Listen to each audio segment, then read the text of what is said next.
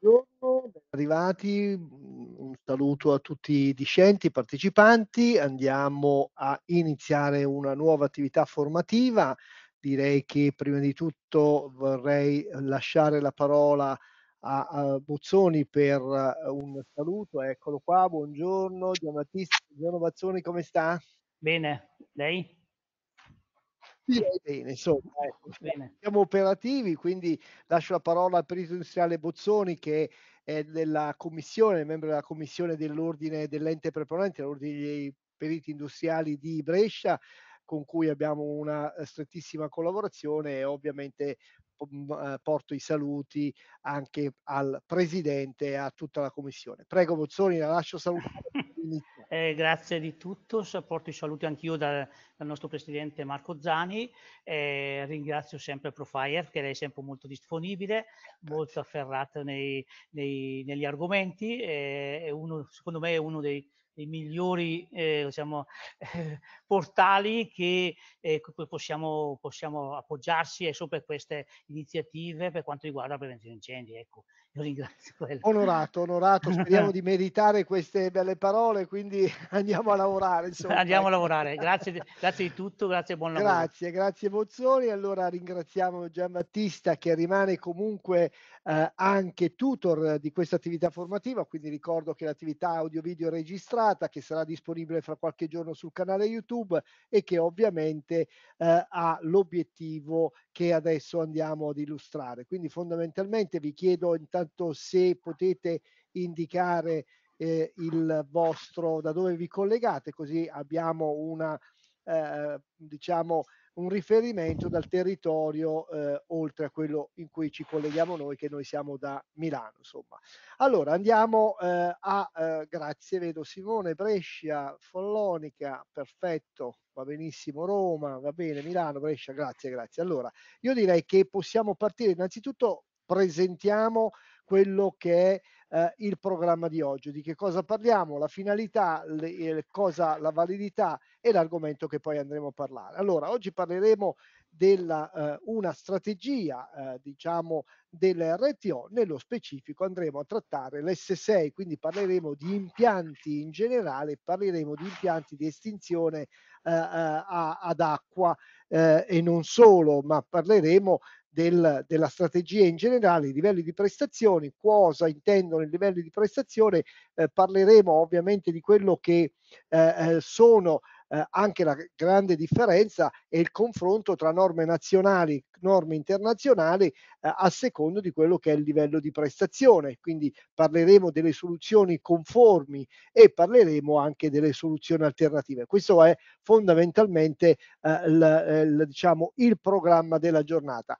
Distingueremo fondamentalmente quello che è un impianto di controllo e un impianto di spegnimento, consider- considerando il fatto che chiaramente la strategia S6 insieme alla 7 e alla 8 sono eh, eh, le strategie che eh, ci sottopongono eh, le modalità e gli impianti eh, atti a ridurre il pericolo di incendio, atto a controllarlo o a spegnerlo. Quindi l'obiettivo del corso è proprio quello di fornire a, a, ai partecipanti un inquadramento generale su quello che è il panorama normativo e applicativo relativo agli elementi di controllo e protezione attiva contro l'incendio. Quindi RTO, richiamo a questo punto non lo faremo, lo diamo per scontato, l'S6, quindi verranno analizzati attraverso alcuni esempi, alcuni richiamo, quello che possono essere. Abbiamo scelto per voi lo sprinkler e il water mist, uno è un impianto, facciamo e così facciamo già la prima domanda, mi scrivete in chat qual è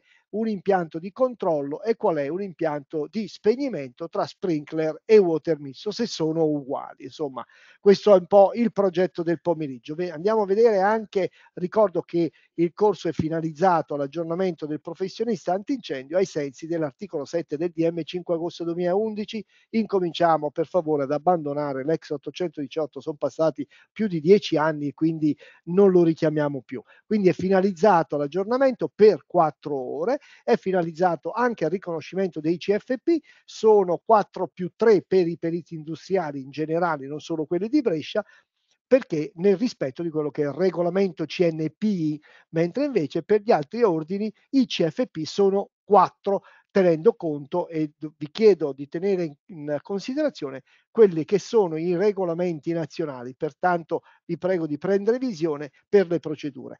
Come si deve effettuare poi il riconoscimento? Una volta effettuato il test, a chiusura del test, del corso, eh, fra qualche giorno sarà disponibile per chi supera eh, il test con almeno il 70% del, eh, delle risposte positive, dovrete poi scaricare l'attestato di partecipazione, inoltrarlo al vostro ordine di appartenenza che provvederà poi, conosce molto bene le procedure di ogni singolo ordine per il procedimento dell'aggiornamento delle ore.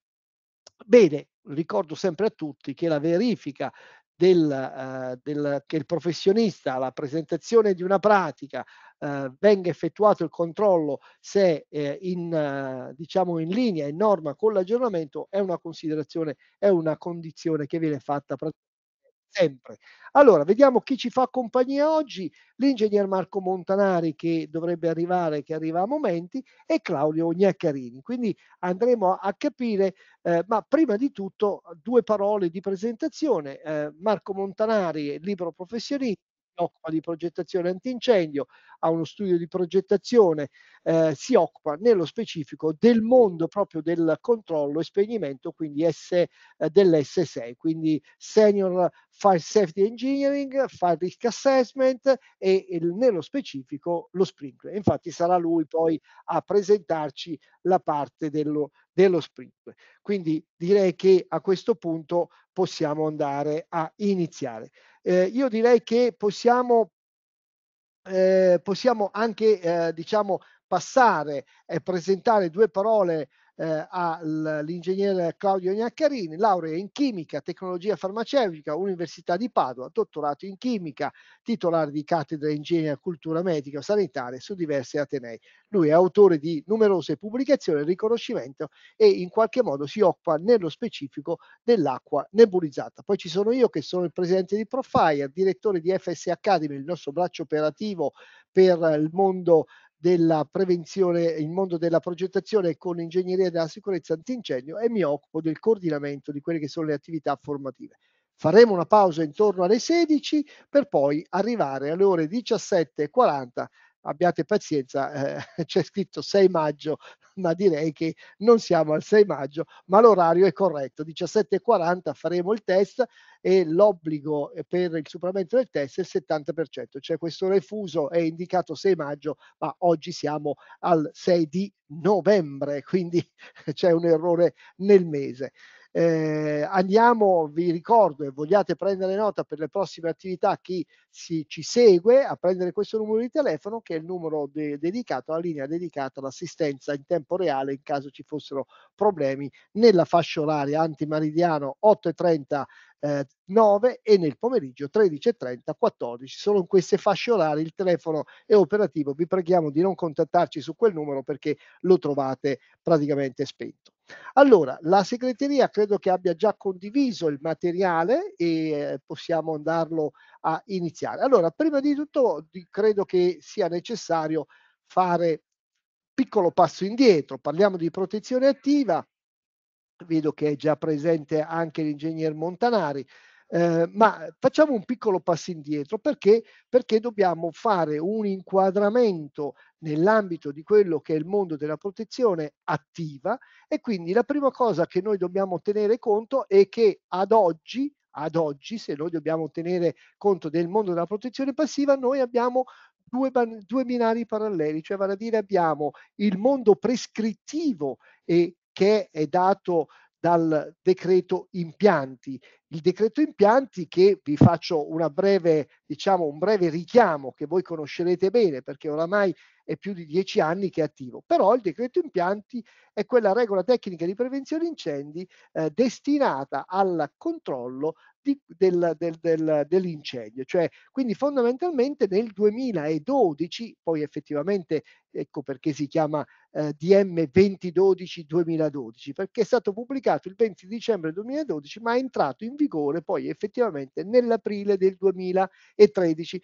Quindi eh, eh, da questo punto di vista diciamo che è stato un momento molto importante perché se guardiamo il momento storico, arriva subito dopo il DPR 151 con le novità enormi che il 151 aveva introdotto e che ci aveva presentato questa semplificazione, burocrazia, snellimento delle procedure amministrative di prevenzione incendi, 151 aveva introdotto anche queste nuove categorie A, B e C, aveva introdotto le nuove procedure, la categoria A, tutte in autonomia dal professionista, subito dopo, diciamo, il legislatore ha sentito l'esigenza di fare un po' di riordino anche nell'ambito della protezione attiva. Ricordiamoci che nel 2007 eh, eh, era stato fatte per, mh, per, la parte di protezione passiva. Ricordate i, i, decreti del febbraio, del marzo e del maggio, quello relativo all'ingegneria della sicurezza antincendio. Quindi nel 2012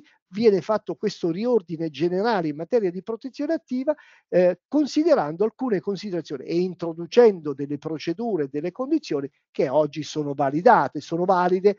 Pertanto io ad oggi ho la possibilità di scegliere o un procedimento con norme prescrittive, quindi scelgo il decreto impianti con tutte le indicazioni, oppure parallelamente scelgo l'RTO e le procedure relative all'RTO. Quindi l'RTO, la valutazione del rischio, quello che è diciamo, l'individuazione dei, dei, valori principali, il, il, discorso legato alla valutazione del rischio, l'R vita, l'R beni, l'R ambiente, le strategie a secondo dei vari livelli di prestazione, soluzioni conformi, alternative oppure addirittura la deroga. Questi sono praticamente i due binari che noi possiamo utilizzare nell'ambito della progettazione di un impianto di protezione attiva. Scegliete voi quello che ritenete più eh, opportuno. Ma ritornando al decreto impianti, eh, eh, alcuni articolati, richiamo alcune brevi diciamo, richiami fondamentali, si definisce un impianto, il decreto lo ha definito come progettazione, costruzione, esercizio e manutenzione. Pertanto un impianto ha necessità di questi passaggi, la parte di progettazione, la parte di costruzione, la parte di esercizio e fondamentale la manutenzione nel tempo. Senza una corretta manutenzione, qualsiasi tipo di impianto in materia di protezione attiva, state tranquilli che non funziona. Quindi gli impianti di protezione hanno l'obiettivo di ridurre quello che sono le criticità nell'ambito della prevenzione incendi. Questi si usano solo nelle attività soggette. Quindi eh, o noi lo prevediamo con specifiche regole tecniche oppure su indicazione da parte dei comandi. Queste sono le principali indicazioni. L'articolato poi prosegue distinguendo dove si può utilizzare il decreto impianti. Per esempio il confronto tra decreto impianti e regola tecnica orizzontale, mentre nel primo la, la, il decreto si applica solo ed esclusivamente per attività di nuova costruzione quindi solo ed esclusiva per quello, o nel caso di manutenzione straordinaria, cioè una modifica sostanziale. Secondo voi quant'è la modifica sostanziale all'interno di un progetto? Quanto vale in termini di percentuale?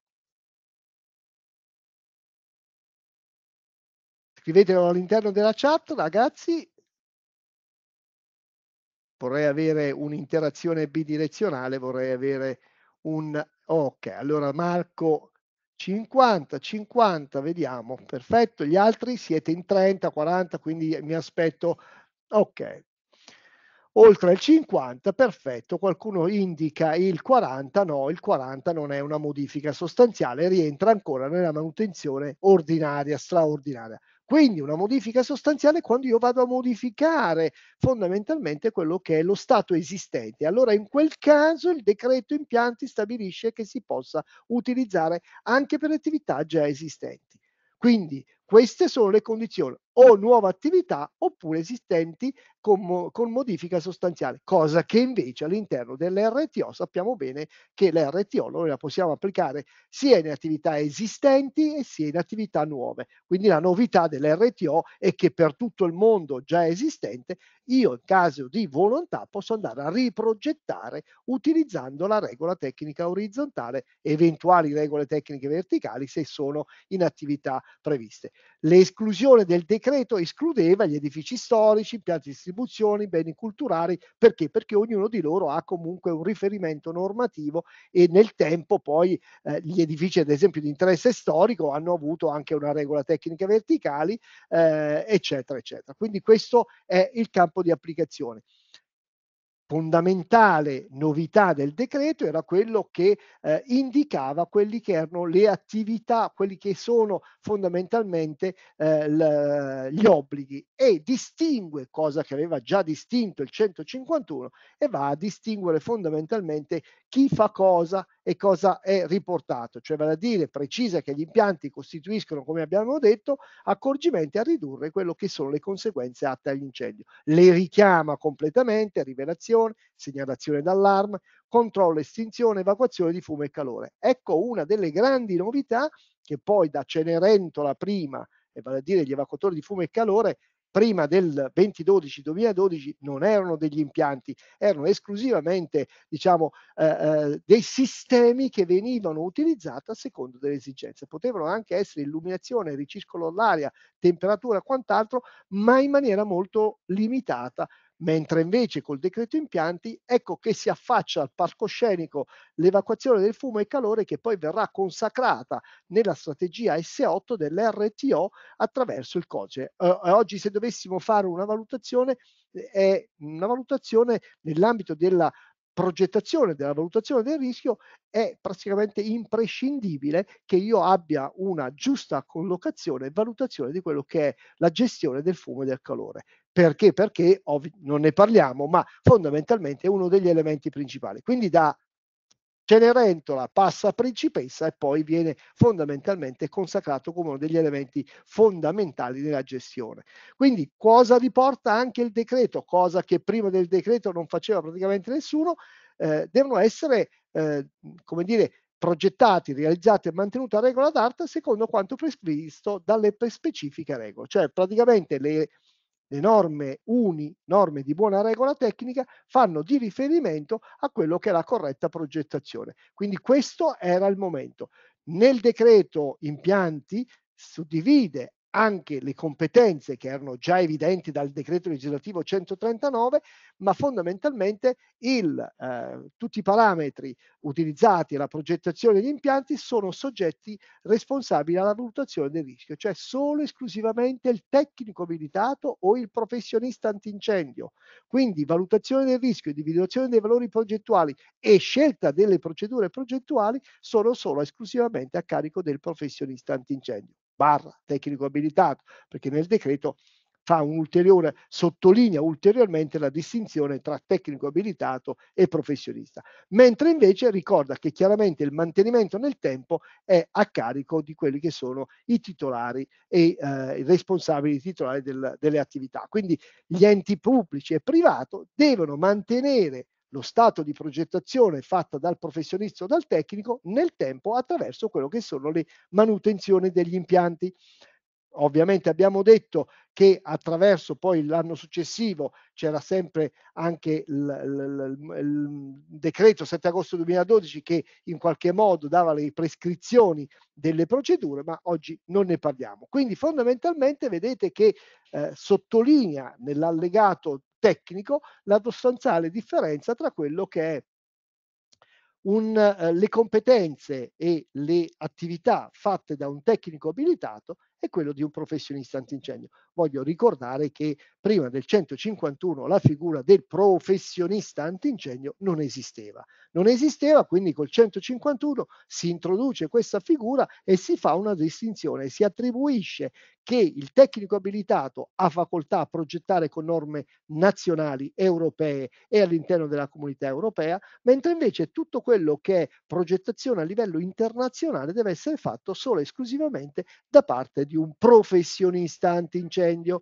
Quindi se l'impianto è fatto a norma internazionale ci vuole la specifica tecnica dell'impianto a firma del professionista, cosa invece che se fatta in norma nazionale. Perché? Perché fondamentalmente le norme di buona regola, che siano UNI, CEI, eh, CEN eh, eh, e della comunità europea sono riconosciute come norme di buona regola tecnica e quindi sono già validate. A quel punto la valutazione del rischio è fatta direttamente dal legislatore, cosa invece che se io prendo una norma internazionale è necessario che abbia la caratteristica di professionista antincendio al fine di poter effettuare appunto la specifica tecnica. Vedete che qui ce lo, ce lo dice in maniera molto chiara, eh, vale a dire, vedete, solo e esclusivamente a secondo di quello che è. Poi, altra novità nell'allegato tecnico viene specificato nell'ambito del decreto impianti e senza ombra di dubbio queste novità, cioè la novità relativa alla specifica tecnica dell'impianto, cioè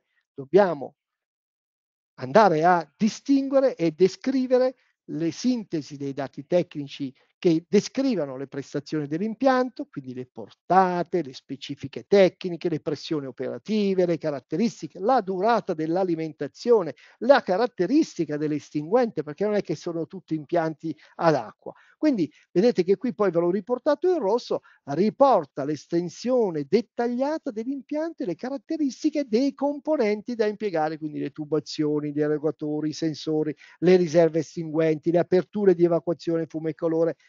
perché se parliamo di impianti, la tubazione dello sprinkler, della rete idranti e del water mist non sono tutti uguali e se prendiamo un tipo di impianto ad acqua non è detto che, ad esempio, se facciamo il confronto ed è il confronto che faremo noi oggi tra water mist e eh, impianti sprinkler, ovviamente le tubazioni sono assolutamente differenti. Quindi è necessario nella specifica tecnica e descrizione di quello che è l'impianto. Come ad esempio dobbiamo richiamare obbligatoriamente la norma di riferimento Faccio un esempio, se noi dovessimo richiamare la, la progettazione di un impianto eh, di una rete idranti, è evidente che devo indicare anche quella che è l'edizione della norma. Faccio un'ipotesi, è chiaro che se non vado a indicare potrebbe esserci la colonna secca o no, e quindi nell'ambito della presentazione della documentazione al committente, è il committente che poi deve trasferire al facility manager, cioè al manutentore, le procedure per quel tipo e quindi noi dobbiamo richiamare la norma che è indicata con l'edizione perché nell'edizione sappiamo quali sono le procedure da dover utilizzare. Quindi deve riportare l'estensione dell'impianto in relazione al pericolo di incendio presente nell'attività. Quindi dobbiamo fare la nostra valutazione del rischio, non si parlava ancora nello specifico, poi viene nel, nell'RTO viene specificata decisamente meglio. Quindi questo è un po' il discorso. Qui ripete, eh, vedete che, che, che, dice chiaramente se a norma internazionale ci vuole professionista antincendio, se invece viene fatto con norma europea basta anche la conformità, eccetera. Ovviamente tutta la parte legata all'FSE, quindi la dichiarazione di corrispondenza e corretto funzionamento, a firma del professionista antincendio. Attenzione a non fare stupidate, magari se uno è, ha la caratteristica di tecnico abilitato, faccio una domanda prima di passare a questo. Sono, siete tecnici abilitati, avete fatto voi il progetto, avete, venite richiamati per l'asseverazione per il rinnovo periodico prima della scadenza. Lo potete fare sì o no?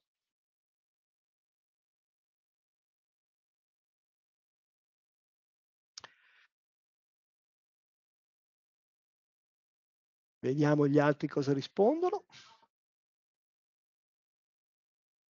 Quindi la mia domanda è, Papa Stefano, che ha risposto sì, viene incaricato da me a fare un progetto, lui è un tecnico abilitato e fra quattro anni, cinque anni, prima della scadenza, lo richiamo e chiedo a, a Stefano, Papa, se lui può effettivamente proporre, può occuparsi dell'asseverazione per il rinnovo periodico di quel progetto che aveva fatto. Lo può fare sì o no? Eh, allora vede che forse ho posto male io la domanda. Non è possibile assolutamente che un tecnico abilitato possa effettuare l'asseverazione per il rinnovo periodico. Lo può fare solo chi è professionista antincendio. Attenzione a questa situazione, perché si dichiara il falso in atto pubblico. È chiaro Stefano, avevo posto male io forse la domanda? Non la sentiamo, se abbassa il microfono il... deve abbassare il suo... Eccolo lì, perché se no non funziona. Non la sentiamo lo stesso, va bene, ok. Co- comunque ho visto che poi ha effettuato la modifica al, a quello che era la domanda. Quindi ha esattamente questa la situazione, cioè il tecnico abilitato non ha facoltà assolutamente di poter andare ad effettuare l'asseverazione per il rinnovo periodico. Lo può fare solo il professionista antincendio. Altra domandona. Questo è l'allegato, questo che vedete allegato è l'allegato tecnico al decreto impianti. E quindi qui cosa vediamo? Noi vediamo praticamente tutte quelle che sono le norme di buona regola tecnica, sono tutte indicate, mancano qualcuno, ma questo era quello perché c'erano quelli già standard. Adesso io faccio, vorrei fare un'interazione, una domanda a qualcuno di voi, proviamo a vedere chi è, chi magari possiamo eh, interpellare. Allora andiamo a cercare andiamo a cercare qualcuno di voi che magari non ha risposto prima e gli diamo audio e video. Allora andiamo, individuiamo qualcuno. Eccoci qua. Allora andiamo. Andiamo da Giacomo, sperando di non trovarlo assente. Allora, Giacomo, questo è un allegato che noi troviamo all'interno del decreto. Allora, la mia domanda è, è chiaro che è evidente qual è, secondo lei, il denominatore comune di questa slide. Aiutiamo i colleghi così, visto che lei è disponibile. Qual è il, de il denominatore comune di questa slide? Il riferimento alle norme uniche, tutte norme uniche. Ok, sono tutte uni, quindi però questi lo cancelliamo perché non è questo il denominatore comune. Okay. perché abbiamo anche un TS, abbiamo anche una ISO, quindi non sono norme uni, sono ancora bozze. Il denominatore comune di questa slide è che sono tutti impianti. Sono tutti impianti. Sono tutti impianti. Quindi, ritornando, facendo un passo indietro, abbiamo capito che quando parliamo di impianto parliamo di progettazione, edizione, installazione e mantenimento nel tempo. La domanda che facciamo ancora a Giacomo è se tutto detto, se questa è un allegato al DM 2012-2012, quindi un decreto ministeriale, cosa significa? Che queste norme richiamate all'interno del decreto sono norme obbligatorie o rimangono norme facoltative, secondo lei? Voi potete rispondere anche in chat gli altri, eh? Sono norme che devono essere rispettate in modo prescrittivo. Cioè, se, sono se... norme prescrittive, però la mia domanda è, sono obbligatorie, quindi io devo per forza utilizzare quella norma, chiamiamo qui non c'è, facciamo una norma di riferimento. Per un impianto sprinkler siamo obbligati. Deve, essere, deve essere utilizzata quella norma, per l'impianto di rivelazione incendio deve essere utilizzata la 9795. E... Ok, però la, la mia domanda è, è, è, cerco di insistere un pochino siamo obbligati a usare quella 12845 per esempio per l'impianto sprinkler o lei come professionista? Si possono utilizzare, se sono un professionista antincendio, posso utilizzare anche delle norme internazionali, non Fantastico. necessariamente una norma unica. Eccolo qua, questo è dove io volevo arrivare. Se Giacomo fosse un tecnico abilitato, ha facoltà solo di utilizzare le norme eh, nazionali e, ed europee, per cui lo può utilizzare. Perché? Perché la valutazione del rischio è stata già fatta dal, valuta, dal, dal, dal, legislatore, mentre invece Giacomo, che è un professionista antincendio, ritiene che la 12845 non soddisfa le aspettative sue e soprattutto anche quelle del committente e lui dice no, io progetto come professionista, posso utilizzare un NFPA, posso utilizzare un FM Global, posso utilizzare standard di normazioni internazionali perché ho la facoltà di poterlo fare. Ho la super patente e con la super patente come professionista lei può andare a pescare la norma del Burundi che ne ha facoltà perché lei essendo un professionista lei fa la corretta valutazione e quindi ritiene di poterlo applicare. Quindi attenzione, quando noi riceviamo una prescrizione da parte del comando, ove ci siano ancora le prescrizioni, non è che ci dice fammi un impianto sprinkler e lo richiama con norma 12845. No, non è che dice faccio la prescrizione impianto di controllo o impianto di spegnimento UNIN 12845. No, non lo indica mai perché questo poi è facoltà del professionista antincendio andarlo ad indicare. È, è, è tutto chiaro Giacomo? Spero che lo sia anche per tutti gli altri. Chiaro, chiaro, chiarissimo. Bene, no, lo, lo, sottolineiamo in questa fase solo perché, perché se noi facciamo diversamente, purtroppo incorriamo nel, nel, in quello, nel quadro sanzionatorio del decreto legislativo 139, articolo 20,2, che dichiara eh, che uno dichiara il falso e quindi ovviamente ci sono dei procedimenti pesantissimi quando uno dichiara eh, il falso. Allo stesso modo è quando dichiaro che ho fatto l'asseverazione, che ho controllato, che è tutto a posto e non lo è. Quindi è un po' l'equivalente. Va bene, grazie Giacomo, grazie per grazie. averci prestato la sua disponibilità. Quindi attenzione signori, queste sono norme volontarie, ma io ho facoltà di poter andare a utilizzare le norme che ritengo più opportuno. Quindi eh, richiamo anche velocemente questa circolare che è del 2012, la protocollo del 19-11-2012, in cui che cosa si chiede? Lo riassumo solo velocemente, nel momento in cui facciamo, eh, collochiamoci a livello storico nel 2012, sembra passato eh, un, un, un, secolo, ma eh, sono solo passati eh, più di dieci anni. Fondamentalmente nel momento in cui facciamo questa riflessione, la normazione arriva con un ritardo maggiore. Facciamo l'esempio e torniamo un secondo indietro. In questa slide noi parliamo di impianti ad acqua nebulizzata, vedete? ma nel 2012 l'acqua nebulizzata, il water mist, era solo un Unicen TS, era un technical specification, fondamentalmente non era una norma. E quindi però nel 2012 di impianti a water mist ad alta pressione, a bassa pressione, scegliete voi come, se ce n'era già il mondo intero.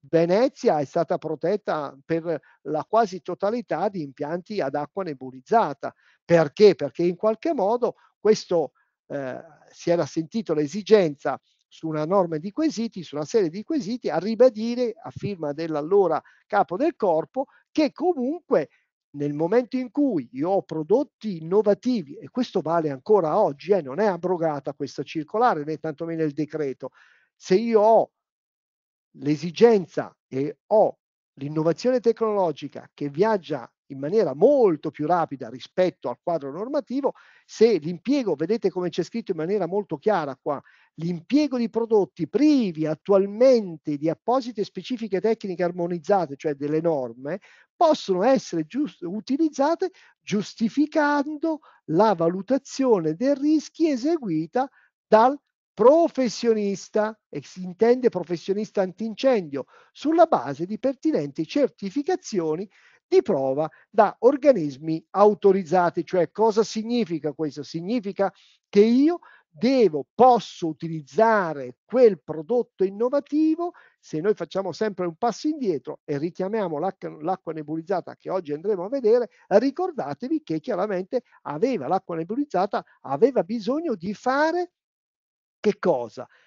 In scala reale delle prove di spegnimento. Non è che la norma, oggi una norma UNI sull'acqua c'è, ma prima nel 2012 c'è in, in, via parziale, diciamo, non è proprio stracompleta, ma ci volevano che cosa? Ci voleva una verifica in stato reale, cioè si doveva, per dire che l'acqua nebulizzata spegne una stanza, bisognava fare, che il produttore era necessario, fare attraverso quelli che erano laboratori autorizzati delle prove di spegnimento e se il laboratorio stabiliva che era adatta, allora si poteva dire che quel produttore che aveva fatto le prove poteva utilizzare l'acqua nebulizzata come impianto di spegnimento. Quindi vedete le, eh, la valutazione del rischio veniva fatta eh, in base a quello che sono le norme nazionali e internazionali, ma soprattutto in assenza di queste norme, in presenza di queste specifiche adottate dal laboratorio di prova autorizzato. Vado dal laboratorio, faccio fare le prove, di queste innovazioni tecnologiche. Hai fatto riferimento dell'acqua nebulizzata, ma faccio riferimento a qualsiasi tipo di, diciamo, di innovazione tecnologica. Oggi io presento al mercato un'innovazione tecnologica atta a ridurre il pericolo dell'incendio, se non, è, non c'è una norma di riferimento, io ho l'obbligo di dover dimostrare assolutamente attraverso un laboratorio, se utilizzo il decreto impianto. Quindi il, quella circolare, quindi la circolare 14229 del novembre 2012, richiamava e ripeteva al fine di rendere agevole il compito del professionista incaricato della valutazione del rischio, il fabbricante, quindi il produttore, produce a Documentazione tecnica correlata dalle certificazioni di prova attestanti le caratteristiche del prodotto innovativo e quindi non è che all'oste di Roma gli chiediamo se il vino è buono, no, ce lo deve dire un, un sommelier, ce lo deve dire un'altra persona, non chi vende il vino o chi produce il vino. La seconda parte è questa, cioè evidenzia le procedure di valutazione prestazionale con particolare riferimento al comportamento al fuoco e alle eventuali limitazioni di utilizzo individuate, ma dagli organismi certificatori, cioè un terzo che mi deve dire quali sono le limitazioni, il comportamento al fuoco e l'utilizzo. Sulla base di questo il produttore deve poi andare a certificare e produrre una serie di documenti al professionista antincendio che deve effettuare la sua asseverazione o che deve mh, effettuare la sua certificazione. Vado a chiudere ricordando che l'asseverazione il professionista è consapevole, questo lo firmate tutti i giorni, c'è scritto sul modo, consapevole di assumere la qualità di persona esercente un servizio di pubblica necessità ai sensi dell'articolo 359 481 del codice penale, eh, mi assumo la responsabilità considerando anche quello che dice il decreto legislativo 139 articolo 20 comma 1 e comma 2 nello specifico il comma 2 perché per quanto riguarda i professionisti Signori, questo è un po' il quadro. In corrispondenza a questo è chiaro che noi dobbiamo poi andare a eh, andare a contrapporsi a quello che è invece uno strumento più moderno, cioè vale a dire l'RTO e tutto quello che prosegue. Oggi di questa RTO andiamo a vedere l'equivalente del decreto impianti che è la strategia S6. Quindi a questo punto io direi che lascio la parola, ho rubato solo nel tempo perché eh, ho rubato del tempo all'ingegner Marco Montanari a cui do audio e video. Marco, buongiorno, ben arrivato. Scusa il punto che ti sei dovuto sorbire, ma come no, dire. No, ma io sono qua. Allora, io direi che andiamo a caricare quello che è la presentazione. Eh, l'ingegner Marco Montanari lo abbiamo già eh, presentato, una brevissima nota di presentazione. Oggi ci porta e ci confronta quello che eh, ho detto io sul decreto impianti invece per la strategia S6. Allora Marco, ti prego di iniziare, nel frattempo io mi eh, adopero per caricarti la documentazione okay. che eh, l'ho ricevuta ma ero impegnato nella presentazione. Prego allora, ti lascio introdurre la strategia S6 e adesso vado a caricarti la documentazione. Allora, prego Marco, metti il primo faremo, piano. Facciamo una carrellata veloce della filosofia no? che sta dietro al decreto ministeriale che è quella di, eh, che ormai avrete sentito mille volte, è quella di individuare e valutare un rischio incendi, no? e poi fissare delle strategie compensative, eh, togliendo alcune attività che hanno specifica normativa legata SL, i famosi SL1, fogli verticali legati al DM, che disciplinano particolari attività, un po' se autorimesse, centri commerciali, queste cose qui. L'approccio è in realtà um, del tutto, eh, diciamo, la, la, filosofia che ci sta dietro è un, una prestazione, cioè eh, definisci tu il rischio come professionista antincendio e individua in base al rischio che hai valutato una strategia con delle misure compensative. No? E queste misure compensative eh, qui chiamiamo i livelli di prestazione, poi dopo possono essere assegnati con dei criteri di attribuzione alle attività di cui ho valutato il rischio vita sostanzialmente. Ehm, Ti carico la documentazione, è pronta. Eh? Sì. Quindi noi adesso cosa ci approcciamo a guardare? Ah, un, il capitolo 6 che riguarda quella che è l'impiantistica, diciamo l'estinzione dell'incendio, fare le varie misure, naturalmente non c'è solo le misure di protezione passive, ci sono resistenza al fuoco, compartimentazioni, strategia contro il fumo. Quindi il professionista è chiamato, no, questa non è la, Arriva, arriva, eccola qua. Eccola qua. Ecco qua. Tolgo la mia webcam. No, Allora, tu mi hai dato questa, Maurizio, direi proprio di no. Comunque, allora penso... Sì, questa qua. No? no, no, no, aspetta, eh, comunque, No? dispensa, scritto Scusate. 2024 1106. Allora, 24. Allora, solo Marco. Eccomi, se qua. Non ti sento Maurizio, Ehm, se- forse è andata via la voce. Lo carico io se non c'è modo. Ti lascio proseguire, te la carico immediatamente io. Scusa, ho sbagliato io a prendere il documento.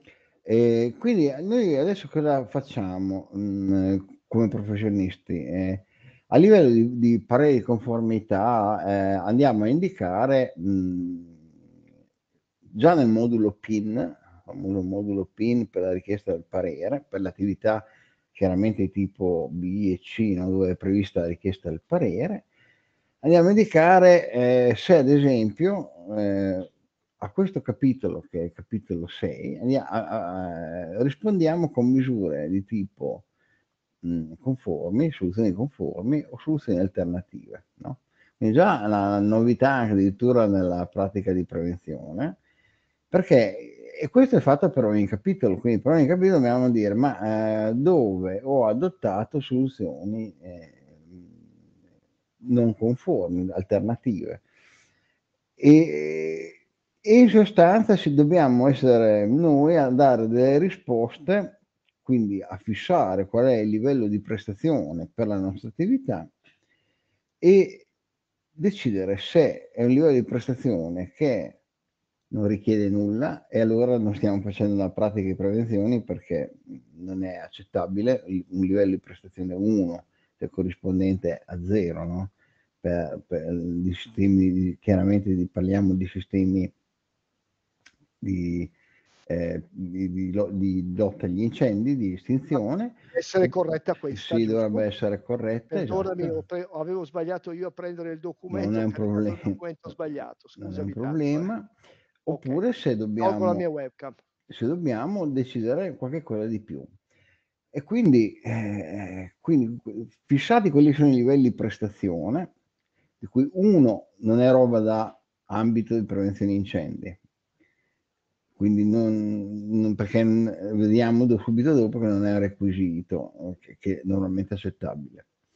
Dopodiché si comincia a salire no, di, di- di prestazione e la particolarità di questo capitolo è che le varie livelli di prestazione non escludono quello precedente, tolto l'uno ovviamente, cioè se io penso a un sistema di controllo estinzione manuale dell'incendio, questo mh, prevede anche che rispetti il punto prima, cioè estinzione del principio di incendio, cioè sugli idranti devo avere comunque anche gli estintori. Analogamente, se prevede un sistema automatico, in tutto o parte dell'attività, in quella tutto o parte dell'attività è previsto anche un sistema di spegnimento manuale ed è previsto anche la presenza degli estintori? Quindi idranti e estintori.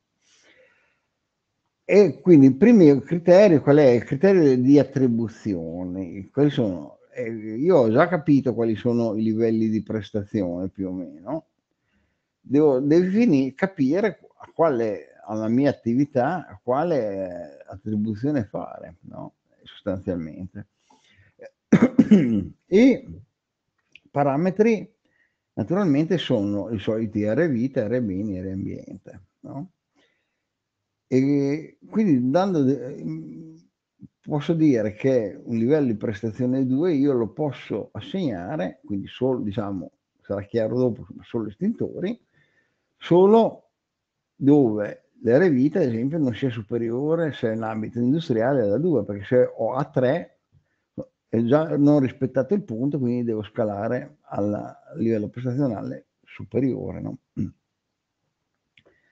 Poi per poter omettere diciamo, gli idranti, perché il concetto poi sostanzialmente è questo, vedete che devo rispettare tutti questi punti, quindi basta che abbia un carico di incendio oltre 600 MJ e già sono fuori. Oppure, se ha un carico di incendio maggiore di 200 MJ, superficie lorda però deve essere minore di 4.000 m2, se no sono già fuori. Quindi è facile per chi opera nel settore della prevenzione incendi essere fuori da quel requisito qua che peraltro non riguarda impianti, riguarda diciamo presidi manuali, no? che al professionista interessano quando fa il professionista per una pratica di parere di conformità, ma interessano praticamente nulla quando si tratta di progettazione, perché sono, non sono impianti, non, hanno, non sono congegni integrati, quindi si tratta di, semplicemente di ubicarli nelle posizioni corrette. Quando un livello di prestazione 2 non è corretto, non è sufficiente, non è attribuibile, diciamo, si scala nel livello 3, no?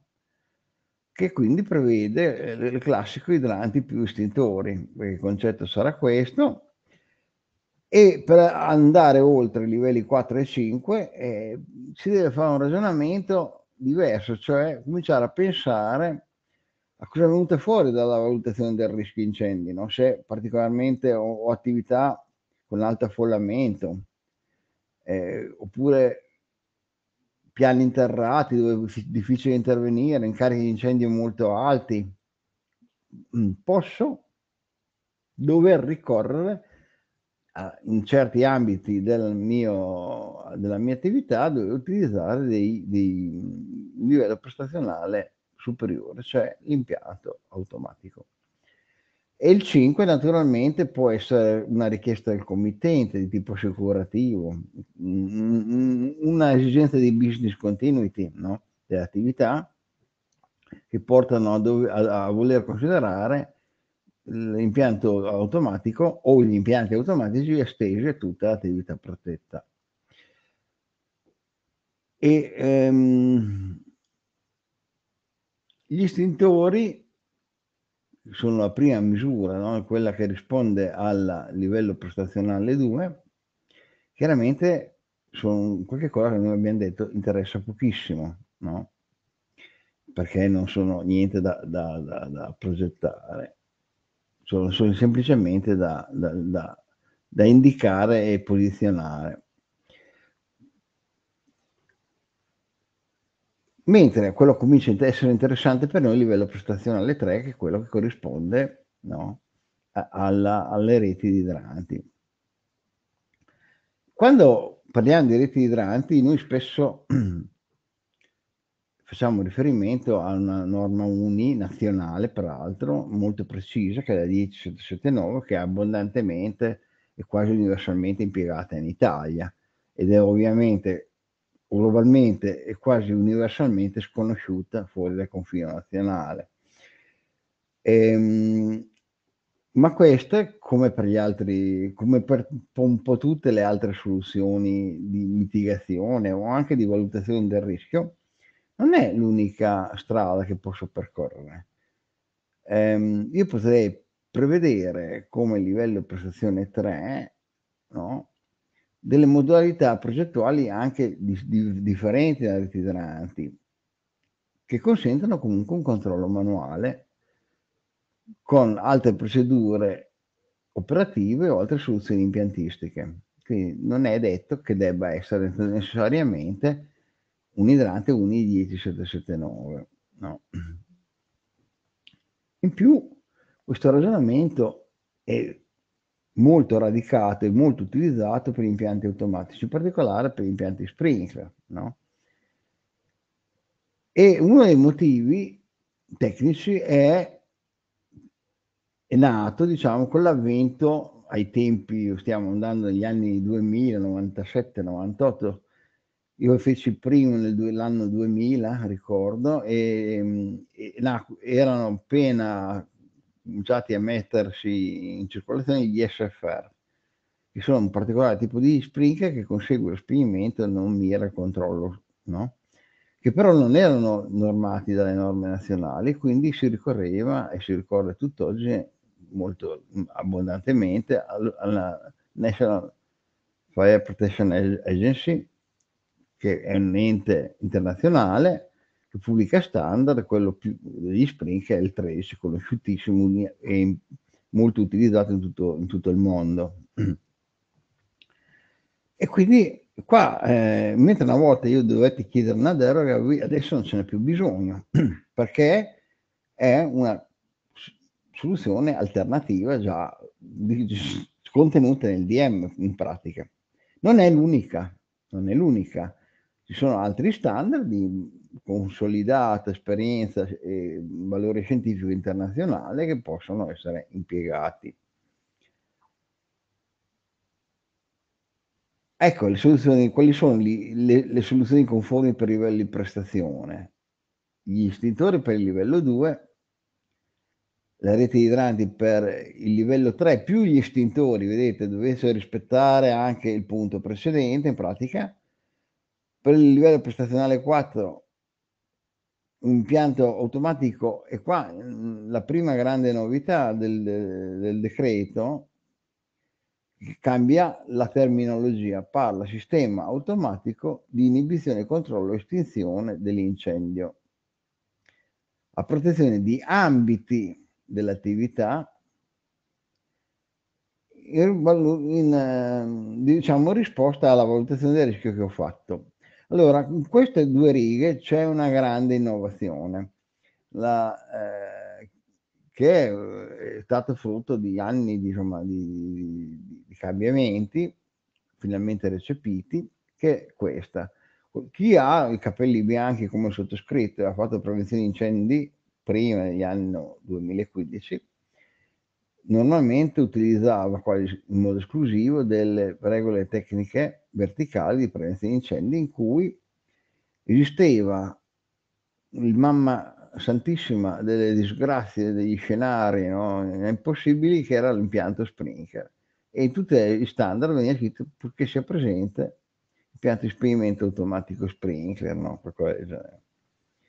Beh, eh, sono anni di fesserie perché fra l'altro le norme che noi utilizzavamo ai tempi non erano norme per gli impianti di spegnimento, ma erano tutti impianti di controllo, impianti che ancora oggi si progettano. No? È impensabile, ad esempio, spegnere un'autovettura incendiata sotto il cofano, non si arriverà mai l'acqua. Quindi non è possibile fissare un target prestazionale in estinzione, però potrei volere, ad esempio, controllare l'incendio in autovettura e evitare che si propaghi a quelle a fianco. E questo è tutto sommato quello che chiedono anche gli standard del VDS, no? E quindi che oggi si faccia ancora l'impianto in, in, control mode, no? cioè impianto di controllo, è più che ragionevole ed è più che ovvio e, e necessario ma questi non sono impianti di spegnimento e quindi il, il decreto ha, parla, ha, ha, introdotto un nuovo linguaggio, parla di sistemi automatici di inibizione, sono un impianto particolare a parte, impianti di controllo e estinzione dell'incendio, quindi o controllo o estinguo l'incendio. L'altra novità che tra le righe è protezione di ambiti di attività, perché alcuni tipologie di impianti potrebbero essere destinati a degli ambiti in attività e non necessariamente dei compartimenti antincendio, anche se tutto porterebbe a far ragionare in questo modo. No? Per esempio negli standard internazionali spesso non è richiesto che se ho un'area che devo decido di proteggere a impianto Sprinkler perché comunica con un'altra che però è molto rischio basso l'altra, non è necessario che io sposti l'impianto di protezione che ho previsto magari a soffitto a tutto il comprensorio potrei anche decidere di valutare l'installazione solo su questa attività no?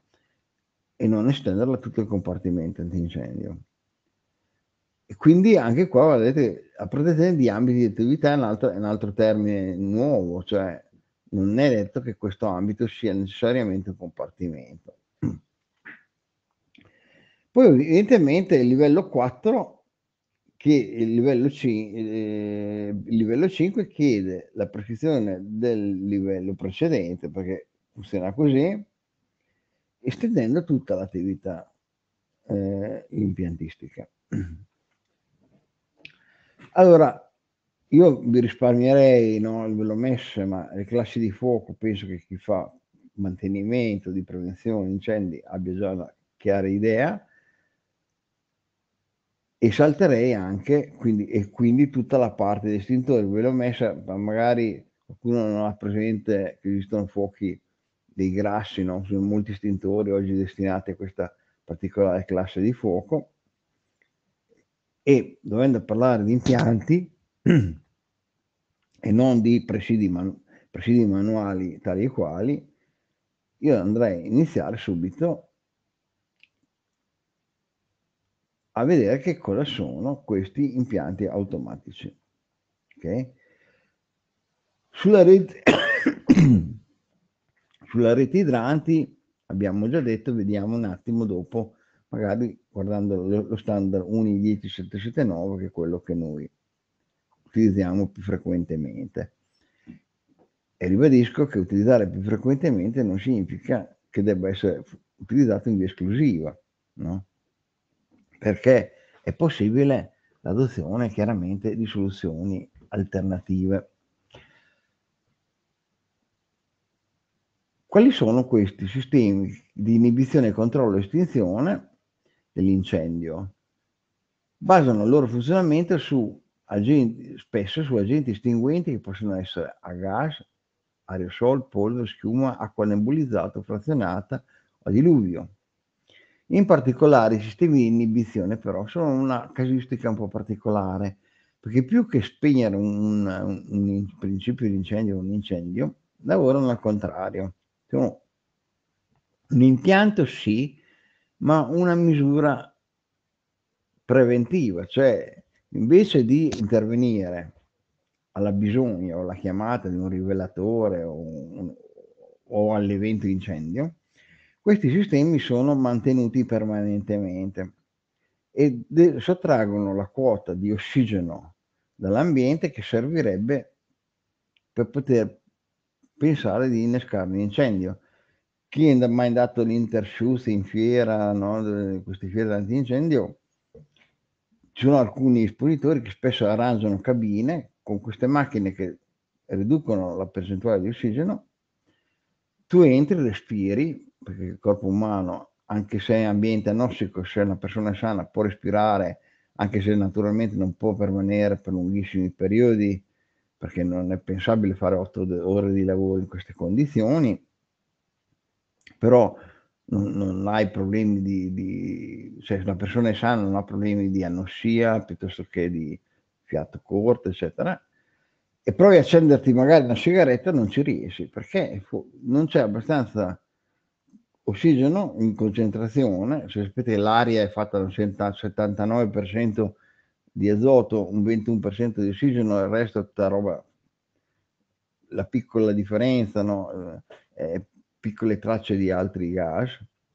E quindi se io a, questa miscela aumento l'azoto e diminuisco l'ossigeno con la macchina che separa questi due gas, consentendo di concentrare in, in, in un canale in uscita come fosse un processo di osmosi, cui assomiglia molto fra l'altro, ma eh, un, un, flusso in uscita eh, ho, più, ho più ossigeno e un altro ho più azoto, io riesco, chiaramente introducendo dei controlli con degli ambienti che abbiano una tenuta eh, consumando energia, perché uno dei, dei, dei contro è questo, impianti energiori questi, posso immaginare di tenere un ambiente in condizioni tali che un incendio non può verificarsi. Questo è il concetto. Quindi non è un vero e proprio impianto, non è un impianto di controllo né di estinzione, ma è un impianto di inibizione. È stato messo in questo capitolo forse anche per ragioni storiche, perché le prime deroghe in materia li hanno equiparati all'efficacia di altri impianti che erano naturalmente più tradizionali, quasi sempre Springer. Di fatto queste soluzioni hanno un senso dove a mio modo di vedere, c'è la necessità di conservare dei beni a cui l'ossigeno non fa bene, ad esempio la conservazione de, de, degli ortaggi o de, degli alimenti, spesso si utilizza per, via, per esigenza tecnica un ambiente impoverito di ossigeno, per far durare di più le merci. No? Allora, se io in quell'ambiente faccio questo impianto, posso ottenere il, il doppio vantaggio di eseguire un processo che mi serve da un punto di vista conservazione e, fare anche sostanzialmente un, un, un, un, impianto che ha una funzionalità antincendio. E quindi lì chiaramente questo impianto non solo ha senso, ma probabilmente anche eh, la soluzione preferenziale, perché, perché comunque lo dovrei fare lo stesso. E in ogni caso, qual è la logica con cui un professionista chiama deve essere chiamato a dare un livello prestazionale 4 o 5 deve utilizzare per definire qual è il migliore impianto che nel suo caso conviene proporre no? cioè io potrei pensare vado dentro a un, un grande magazzino, un cono, una COP, e cosa vado a proporre in, so, in questo ambiente? Naturalmente eh, io devo fare delle distingui, fare delle valutazioni. Devo prima pensare se ci sono delle incompatibilità con la, dell'agente estinguente col materiale presente e anche degli effetti della scarica sugli occupanti presenti, se ad esempio possono questa scarica può rallentare o, o ritardare eccessivamente il processo d'esodo. No? Quindi chi è chiamato a fare la scelta? È il professionista. Questo è che però per farla deve conoscerle. Questo è il motivo per cui con questi corsi, magari chi non è uno specialista di progettazione di questi impianti, può farsi un'idea di quale possibili strade si trova davanti per poter proporre un livello prestazionale che non è sempre molto comune, ma che oggi sempre più viene utilizzato. E fra questi sistemi, no, uno particolarmente importante è l'impianto Sprinkler. Voi vedete che il decreto usa gli, gli acronimi, no? SPK per impianto Spring che usa IDR per la RI, scusate, per le reti idranti, per, per sintetizzare un decreto così grande che quindi... Ma che cosa sono? Sono per sostanzialmente prima di tutto dei rilevatori, perché l'impianto Spring non ha già le testine aperte, è comandato dall'incendio, quindi rileva l'incendio per via termica si rompe l'otturatore sostanzialmente, l'ampolla, ed estinguerlo nello, nello stadio iniziale, oppure lo controlla così che l'estinzione possa essere completata con altri mezzi, come ad esempio vi spiegavo per le autovetture. Se è un, auto, mezzo in fiamme so, al primo interrato di un centro commerciale e l'incendio è sotto controllo, vigili del fuoco avranno buon gioco entrare, aprire, togliere il cofano e intervenire per estinguere definitivamente l'incendio. No? Se invece non ho l'impianto, magari questo incendio si propaga ad altri mezzi e i tempi di percorrenza per i vigili del fuoco magari sono alti per via di traffico piuttosto per la distanza dal, dal, dalla caserma, quindi non riesco più a fare un, un, intervento precoce, magari perdo il controllo dell'ambiente, si verifica un scenario con effetti domino, per cui diventa perso tutto, è impossibile entrare nel, entrare, nemmeno magari pensare di entrare dentro l'autorimessa stessa. No? Quindi le filosofie, vedete, sono diverse, oppure uno potrebbe anche pensare che ha bisogno dell'impianto Sprinkler per scopi che siano sostitutivi, ad esempio, della resistenza al fuoco. Già questo di fatto è nelle vostre corde, cioè perché chi fa la valutazione mh, eh, della classe dei compartimenti con livello prestazionale classico, livello 3, sa benissimo che spendendo la cartuccia no, del, dell'impianto automatico si ottengono dei coefficienti di, di, diciamo, moltiplicativi risolutivi del rischio e della classe del compartimento molto importanti. E quindi in modo un po' brutale, sicuramente molto euristico, uno, si sa già che l'impianto Spink contribuisce no, a, diminu- a, diminuire il, sostanzialmente la classe del compartimento, quindi il rischio di collasso della struttura.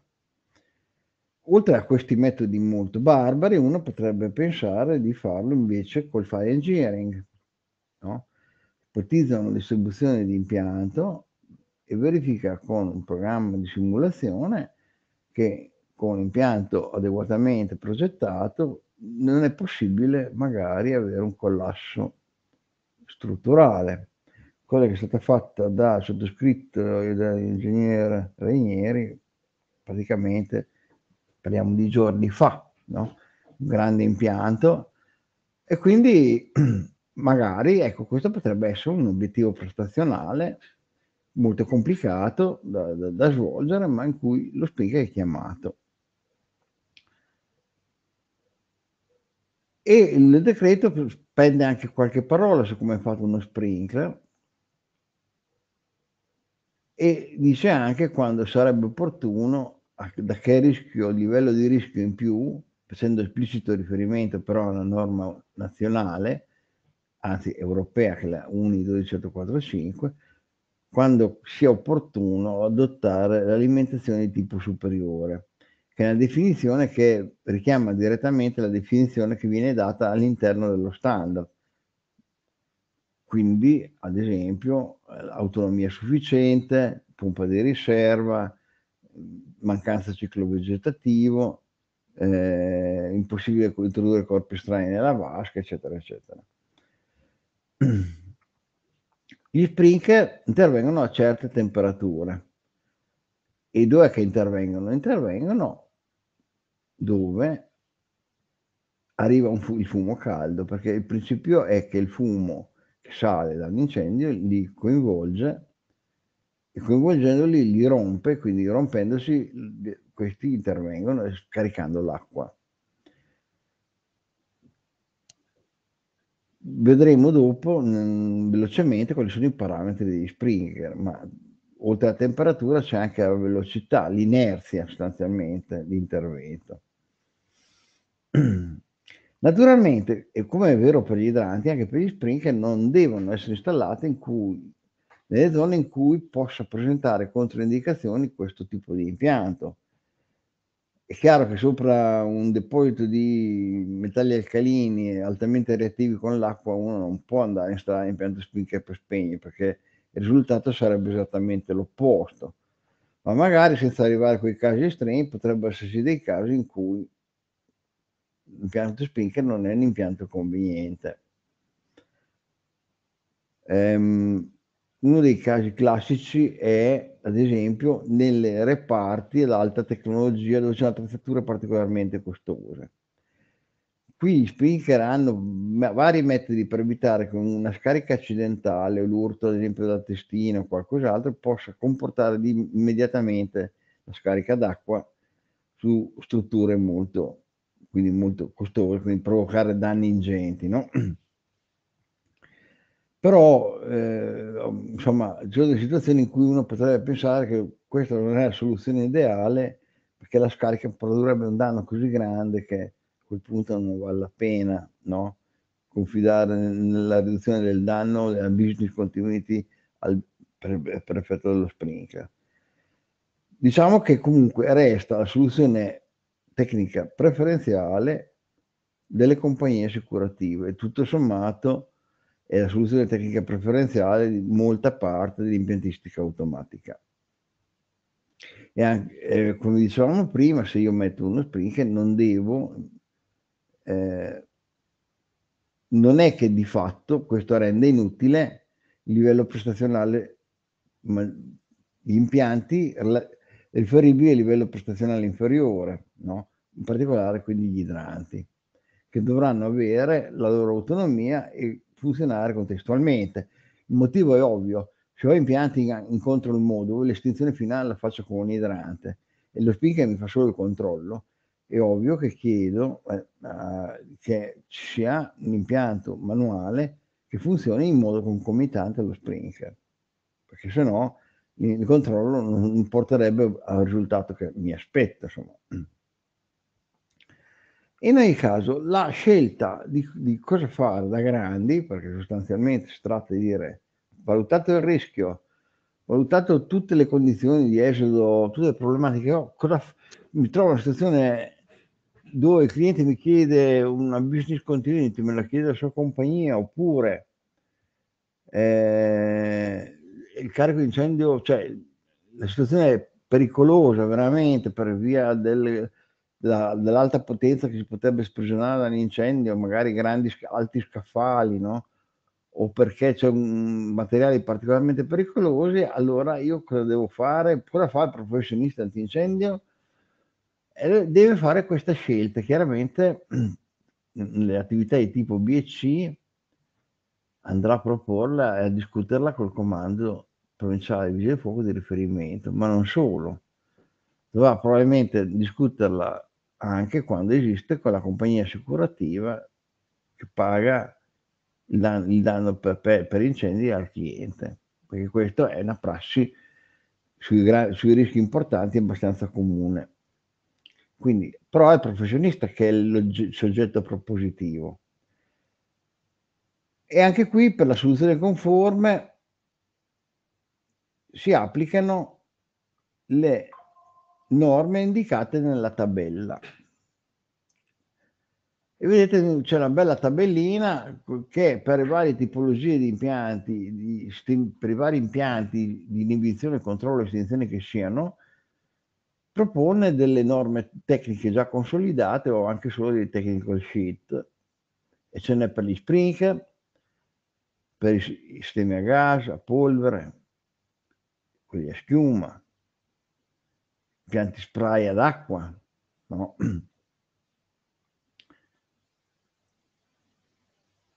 ad aerosol, a riduzione di ossigeno, vedete che è stata fatta ehm, la norma UNIN, che prima, pochi anni fa non c'era, no?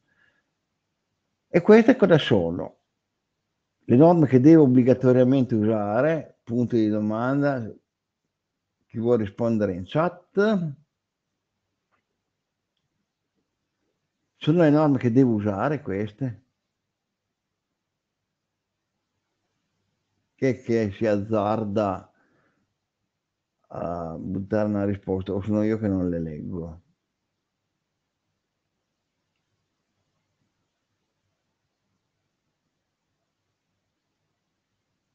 E Maurizio, non le vedo io le risposte, ho fatto una domanda difficile.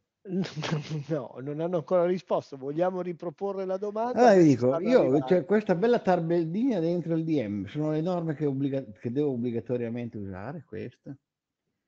perché per ogni impianto, vedete, c'è uno standard. Quasi tutti sono un IN, ce n'è uno un, un, un ISO, no? Ok. Aerosol.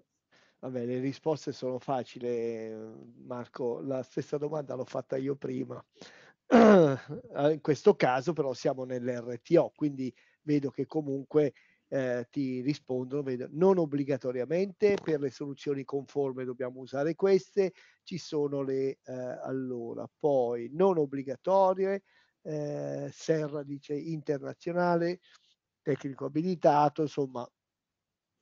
Vabbè, eh, allora abbiamo detto, Serra dice se sono tu, tu, tu prima hai detto il, mo- il motivo, no? Perché che devo essere un professionista antincendio per proporre una di queste cose. Magari chi sta facendo la pratica o chi sta facendo il progetto non è un professionista antincendio e quindi si guarda bene da proporre qualche cosa che magari non potrebbe progettare. Ma andiamo a vedere qual è la molla scatenante che io potrei pensare che mi porterebbe a dover decidere un impianto piuttosto che un altro o uno standard rispetto che un altro, magari ricorrendo appunto a soluzioni non conformi, perché se il progetto che faccio utilizza una di queste standard, la soluzione è, confer- è conforme, non ho bisogno se non di rispettare lo standard e di fare altro.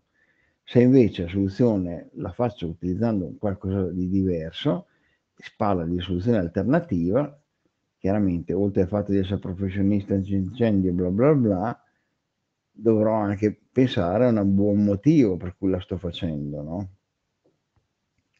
E uno dei buoni motivi, ad esempio, vi spiegavo prima, è la richiesta delle compagnie assicurative, no?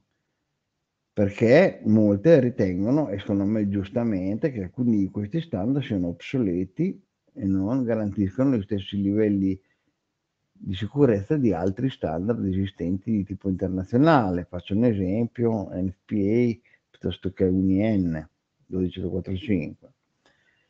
In altri casi ci c'è un'esigenza, o anche FM Global certamente, altri casi c'è un'esigenza magari che un cliente è assicurato con FM Global e FM Global per assicurare il suo cliente chiede che rispetti dei suoi standard. No? Altre volte invece, e qua casca l'asino, perché il professionista non conosce gli standard e fa stupidate ad esempio, stanno prendendo piede dei sistemi di deposito che usano delle cassette in materiale plastico, dette UDC, unità di carico. No? Possono essere messe in 2000 modi diversi, non stiamo a discutere, di dimensioni diverse. E certo è che se io vado ad affrontarle con un impianto Spring, ad esempio, la UNIN me lo classifica immediatamente come rischio speciale e prevede subito l'impianto schiuma, non ha alternative, no? non ha una soluzione per, dove il rischio è connaturato sostanzialmente dai contenitori materiale plastico. La soluzione è un impianto Springer più schiuma, no? contenente schiumoso, si chiama lo flow praticamente. E fare un impianto schiuma, oltre ad essere particolarmente costoso, pone problemi ambientali, di captazione dell'acqua scaricata, di smaltimento controllato, eccetera, eccetera. No? Magari invece posso trovare un altro standard che mi risolve il problema semplicemente con acqua. Oppure possono esserci dei tipi di materiali o delle disposizioni di materiali che uno standard non prevede e dichiaratamente non risolve, come gli open top container, cioè le cassette senza coperchio, che in FPA ad esempio non considera, che però sono risolti da altri standard. Quindi l'orientamento che può avere il professionista che decidesse di scegliere una soluzione, una volta che abbia deciso chiaramente quale sia la strada tra i varie tipologie di impianto proponibili, deve anche capire qual è lo standard di riferimento che è più conveniente utilizzare o che gli risolve il problema. No? Invece spesso assisto a, o vedo del, delle relazioni tecniche con specifiche tecniche che sono assurde, cioè si spara, saranno impianti, saranno conformi UNIN, punto. E vabbè, poi magari vuoi proteggere un rischio che UNIN non protegge. No?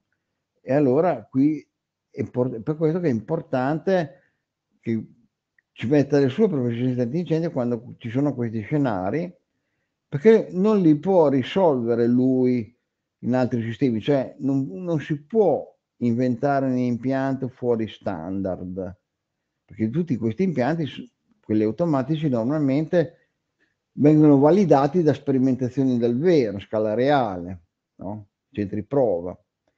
Si può simulare con programmi file engineering quello che si attende un risultato magari sulle strutture, altre cose, ma poi l'impianto va progettato su uno standard. No?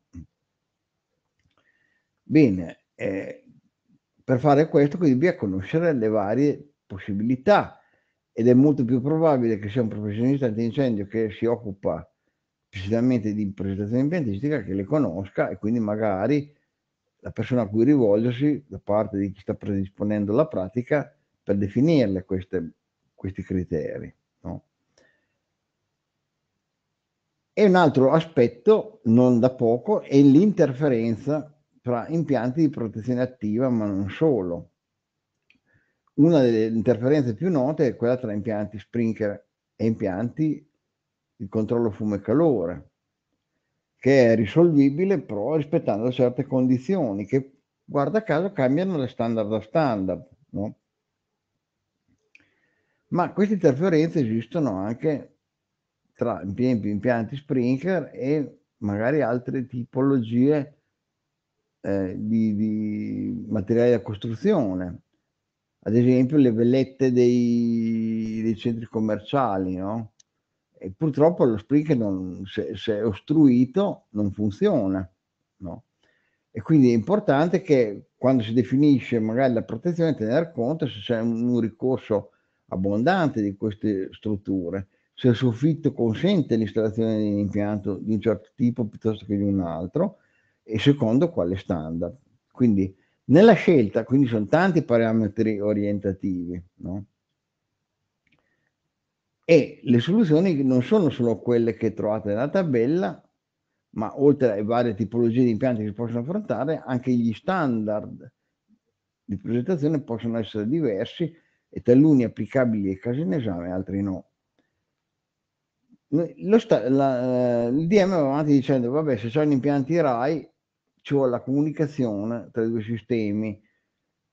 In realtà, più che l'impianto, si dice solamente che gli, gli allarmi che butta fuori l'impianto Sprinkler, che sono flusso d'acqua, ad esempio, piuttosto che una valvola chiusa che per l'allarme è un'anomalia, vanno remotizzati il sistema di, di, di, controllo di questi allarmi.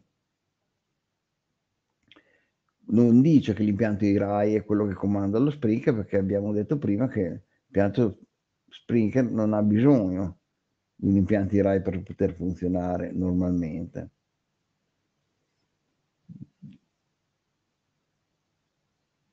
E naturalmente devono, se non è presente un impianto IRAI, devo prendere delle procedure, mettere in campo delle procedure per la gestione dell'emergenza da far eseguire alla, agli addetti della squadra. Facciamo un esempio. Gli organi di sezionamento degli impianti Sprinkler vanno monitorati in posizione. Questo dice la nostra norma. Poi potrebbero essere situazioni in cui questo è impossibile da farsi. E, esempio, nello standard NFPA, metodo alternativo, registro dell'addetto che giornalmente fa il giro di tutti i presidi, verifica che siano aperti, bla bla bla. Quindi diventa una misura gestionale. No. Analogamente, se non butto fuori l'allarme per Sprinker in funzione, no? dovrò implementare altri sistemi per da, dare l'allarme ed evacuare eventualmente i locali. Allora, velocemente sulle reti idranti, io penso che chiunque, fra l'altro il corso è organizzato dal Collegio dei Periti Industriali, quindi se è un impianto molto comune per i fanti incendio è questo, è fatto da un'alimentazione idrica, una, una serie di tubazioni fisse, preferibilmente chiuse da anello. Questo è un criterio di disponibilità del sistema, cioè per aumentare la probabilità che, che anche in caso di guasto si abbia una, una grazie ai congegni di sezionamento, io abbia una parte di impianto che continua a funzionare. Poi ho attacchi in mandata per la, la vigilia del fuoco, valvole e apparecchi erogatori e lo standard che noi andiamo spesso a utilizzare, anche se vi ho detto non è cogente l'utilizzo di questo standard, salvo che qualche, ehm, qualche regola verticale di quelle che trovate in allegato al DM18 imponga esplicitamente l'uso della UNI 10779. Come si compone uno standard, che sia nazionale o internazionale, non è molto importante più o meno sempre fatto così, c'è una norma di progettazione ed esecuzione che richiama al interno norme di prodotto, eventualmente norme di manutenzione o altri standard, no? E questa è l'impostazione che poi troverete in qualunque standard internazionale, con la differenza che magari qui non, norme prodotto sono norme UNIN, quindi troviamo presidi certificati, in altro caso potremmo trovare presidi di, di differente approvazione. L'apparecchio di erogazione è permanentemente collegato a un sistema di tubazioni fisse quindi permanentemente vuol dire che non è collegato alla bisogna, no? anche se questo è molto più vero con gli idranti in aspi che con gli idranti sopra-suolo e sottosuolo, in cui gioco forza il presidio termina con gli attacchi e le dotazioni sono fornite nella cassetta corredo, mentre se parliamo di idranti in aspi, chiaramente questi sono già collegati e pronti ad essere impiegati.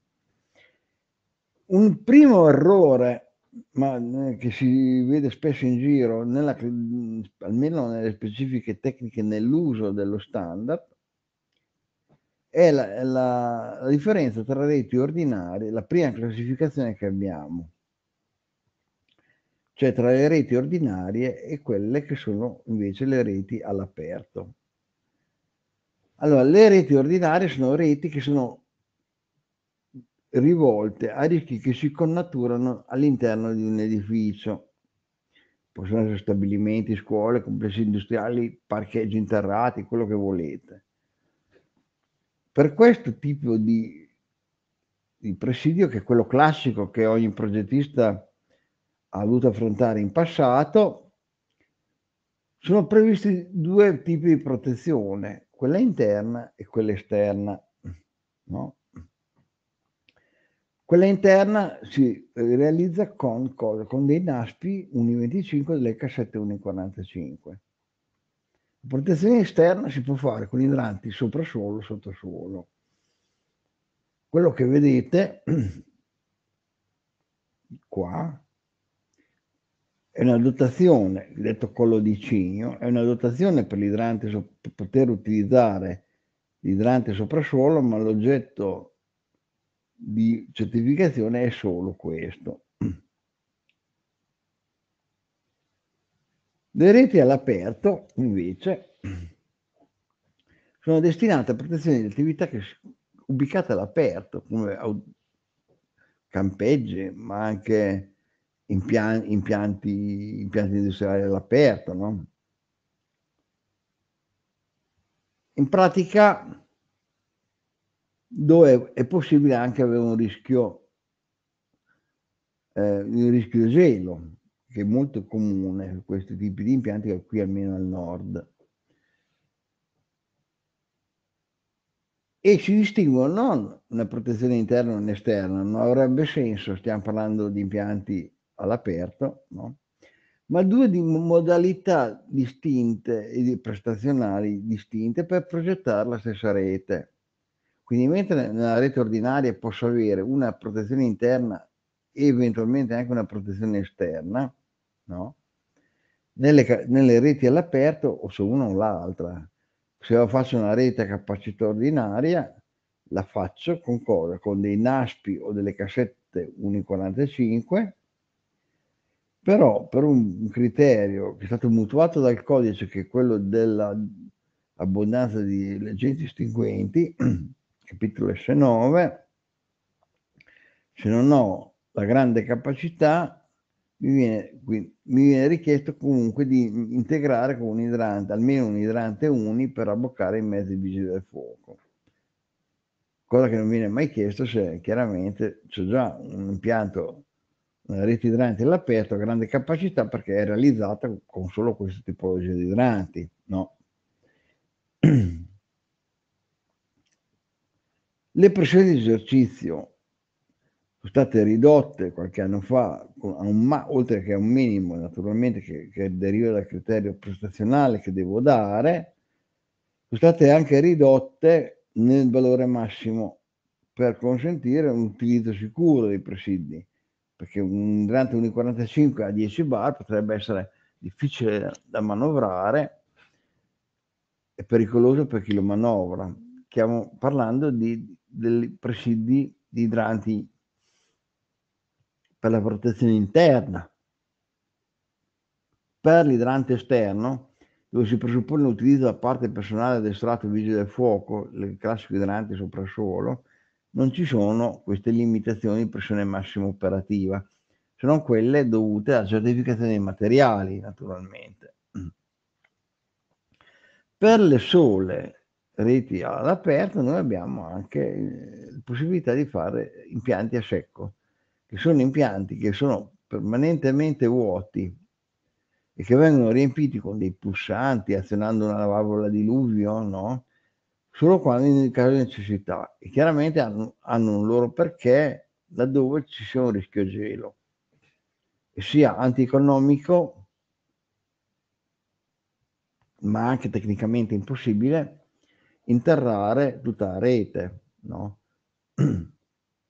e utilizzare sugli idranti soprassuolo. Quindi i nostri amici eh, della partita sono questi, i primi due normalmente utilizzati per eh, capacità ordinaria oppure per protezione interna, gli ultimi due per grande capacità o protezione esterna delle reti ordinarie. La prima cosa da capire è che quasi tutti questi presidi sono normati da standard, normati in parolone, comunque sono regolati da degli standard che sono UNIN. Quindi la conseguenza pratica è che questi dispositivi sono marcati CE, mentre le dotazioni che devo aggiungere per rendere fruibile l'idrante soprassuolo e l'idrante sottosuolo, quindi colli di cigno, le lance, eccetera, sono disciplinati da uno standard italiano che ha cercato di coprire il buco che si era venuto a creare, cioè hai parte dei presidi che sono certificati nella loro interezza, quindi rubinetto, lancia, manichetta, eccetera, eccetera, tutto fa parte di una, di una box che comprende anche il contenitore certificato. Quindi so tutto di quello, no? Altra cosa, questo idrante soprassuolo di cui non ho un coefficiente di flusso, non ho nulla, ce li ho da certificazione delle, delle imposizioni, ma in realtà la sua capacità di scarica dipende molto dalla lancia che andrò a applicare. E questa lancia può avere diametri all'usello diversi, no? motivo per cui è stata introdotta anche uno standard sulle lance. Andando avanti più velocemente, questi sono i congegni no? che possono avere, trovare in campo questi impianti. L'equazione del flusso, questa è un'equazione che si utilizza sia per la progettazione di impianti Sprinkler che per gli idranti in sostanza è indipendente no? da, dal presidio che scarica acqua, proprio perché la, formalmente la modalità è uguale. C'è un tubo in pressione che ha un buco, qualche cosa che consente di scaricare. A queste velocità e a queste pressioni la scarica si può descrivere come il prodotto di un coefficiente di flusso che chiamiamo K per la radice quadrata della pressione, cioè QK per radice di P. Se io esprimo a portata in litri al minuto K uso quello metrico la pressione in bar, uso la seconda equazione ed è quella, la modalità classica di scriverla è questa qua. Se invece dei bar uso i megapascal che sono 10 bar, naturalmente il coefficiente di flusso sarà lo stesso, no? Però dovrò moltiplicare, un, uh, 10 bar fanno un megapascal, se voglio utilizzare il megapascal devo moltiplicare sostanzialmente per 10 ma sono l'ovvia conversione in unità di misura. Una cosa da capire è che anche le reti grandi, tutti i presidi non sono uguali fra loro. Non solo non sono uguali fra loro, anche tutti gli stessi presidi dello stesso tipo non sono uguali fra loro, ancorché certificati CE. Perché lo standard che, di cui facciamo riferimento prevede tanti diametri equivalenti o coefficienti di efflusso diversi per lo stesso oggetto. Quindi quando progettiamo dobbiamo fare mente locale a quale tipo o quale coefficiente di flusso ci interessa per fare la nostra rete, per avere una pressione che sia congrua, ma non né troppo alta né troppo bassa, perché quando noi dichiariamo un livello di prestazione, no? Andiamo a dichiarare una portata, ma anche una pressione minima. Se io mi trovo un, un NASP magari una, che dà una portata molto importante con pressioni molto basse, ad esempio, prendiamo io avrei bisogno di 35 litri al minuto per questo livello di prestazione con la pressione maggiore uguale a 2, no? Eh, io mi devo porre il problema di qual è il NASPO più idoneo. Io ho fatto una tabella sostanzialmente in base al coefficiente del flusso, semplicemente usando l'equazione che vi ho dato. No? Allora, ci vogliono ben 4 bar con un diametro equivalente del 6 per avere i miei 34-35 litri. Se uso un diametro equivalente del 7, vedete che mi basterebbero poco più di 2 bar, no? Man mano che aumento il diametro equivalente, cosa succede? Che questa presidio dà molto più acqua.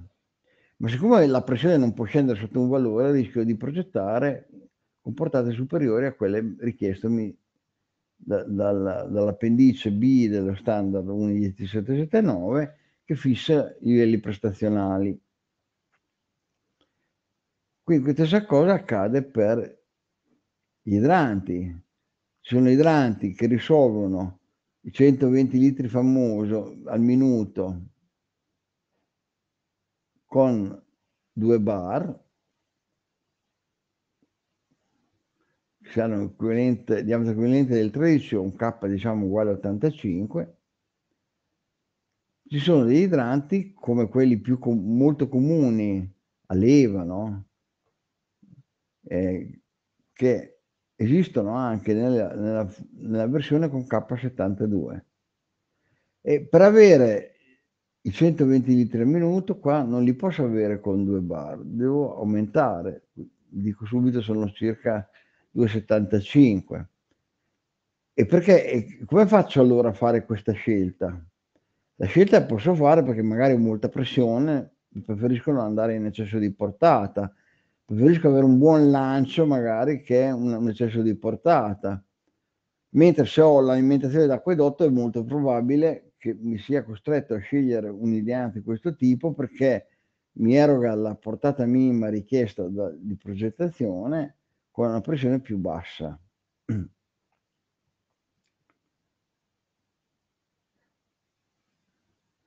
Chiaramente quando l'idrante è vecchio e non è noto, il valore del suo coefficiente del flusso non è più stampigliato nell'etichetta di certificazione che troviamo normalmente all'interno, ma va determinato perché se la equazione è QK radice di P, sappiamo benissimo, per risolverla se mi manca il K devo avere la P, quindi mi serve uno strumento che mi consideri di fare una misura durante una prova, di determinare non solo la portata ma anche la pressione dentro il condotto.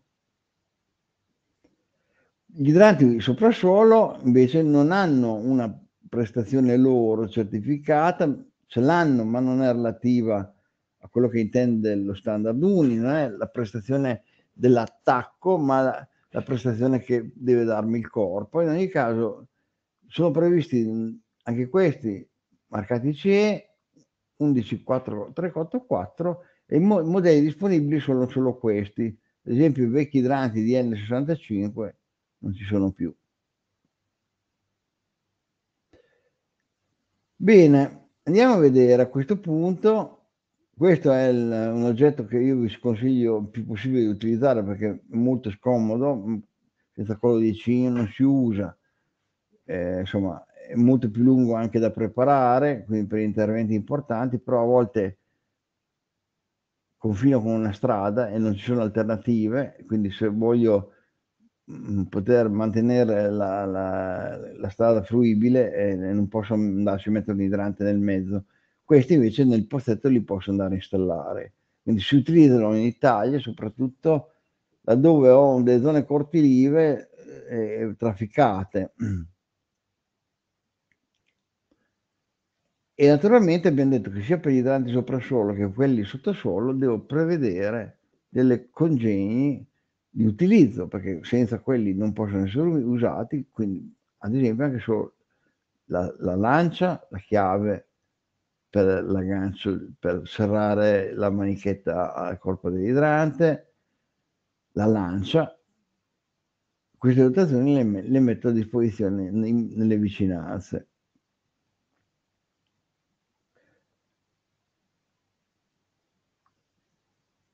Bene, livelli di prestazione. Vi ho saltato delle parti che riguardano la giustificazione del perché una lancia può avere un K o un altro, no?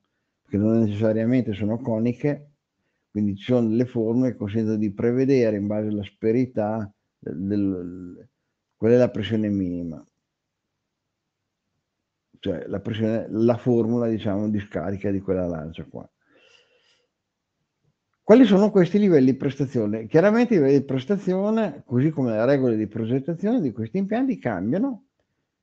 Cambiano da una rete di protezione interna alla rete, scusate, da una rete di protezione ordinaria a una rete di protezione esterna, no? una rete all'aperto.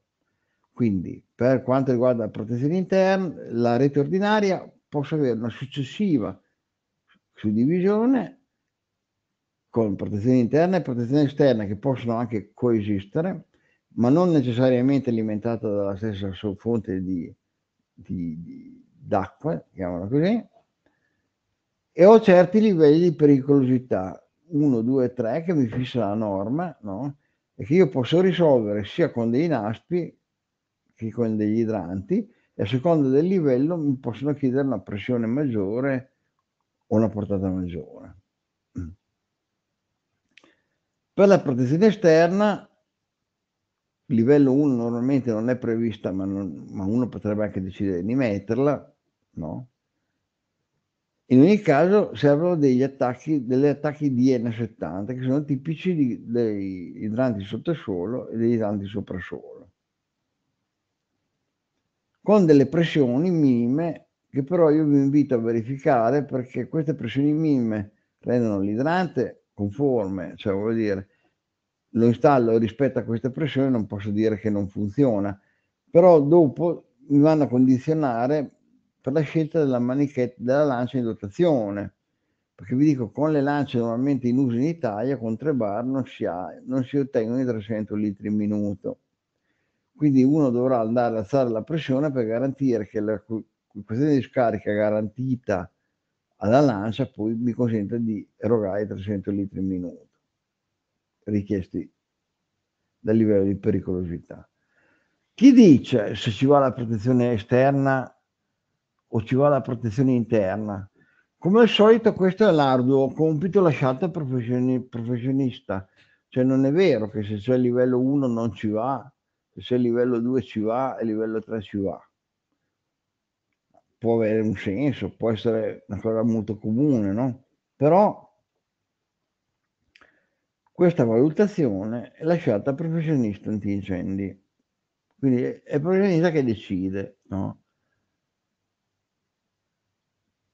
E questi livelli di prestazione chiaramente devono tener conto se ho la rete esterna o meno, perché se non ce l'ho, e ci sono compartimenti grandi, addirittura posso trovarmi in condizioni di dover raddoppiare gli sprinkler di protezione interna contemporaneamente attivi. Naturalmente quando c'è una rete che alimenta protezione interna e protezione esterna, A, come vi ho detto, non è detto che debbano essere alimentati dalla stessa fonte. B, per quanto riguarda la protezione esterna, sono ammesse anche delle distanze importanti purché si, si arrivi a, a, ad avere a disposizione questa, questa fonte, no? quindi potrebbe essere un pubblico acquedotto che passa fuori dall'attività, purché non sia eccessivamente distante dall'attività stesso. In ogni caso, se ho dei compartimenti importanti e lo metto a protezione esterna io mi potrei trovare a dover raddoppiare il numero di idranti interni da dover considerare contemporaneamente attivi a progetto sostanzialmente. Quindi invece dei soliti tre idranti ogni 45 per livello per livello di prestazione 2 potrei trovarmi a doverne garantire 6 poi abbiamo discorso del rabbocco. Cioè, per i livelli 2 3, se ho previsto la rete di protezione esterna, ho, ho finito, non ho da verificare altro, no? Per quanto riguarda le selezioni.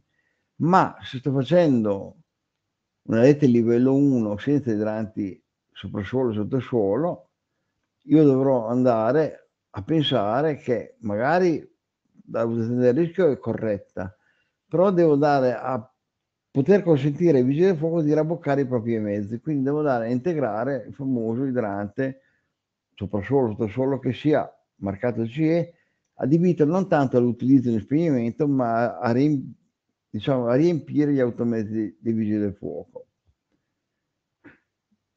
E questo, questo, mm, diciamo, questo mm, presidio deve darmi sostanzialmente 300 litri al minuto. La durata, i criteri di durata sono diversi tra protezione interna, esterna, eccetera, però devo fare un dimensionamento corretto.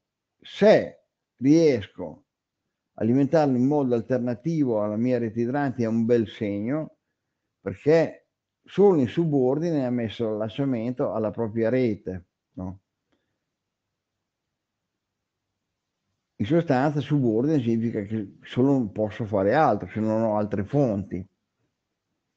Questo è ovvio. Se io metto un idrante che aprendolo appena sicuramente già eroga 300 litri al minuto, c'è una pressione significativa, questo potrebbe fare crollare le prestazioni sugli idranti dove vado, penso andare a mungere acqua per spegnere l'incendio, quindi idranti protezione interna, no? Oppure mi, tro- mi, troverei che eh, que- questi idranti eh, non sono ben alimentati, quindi sostanzialmente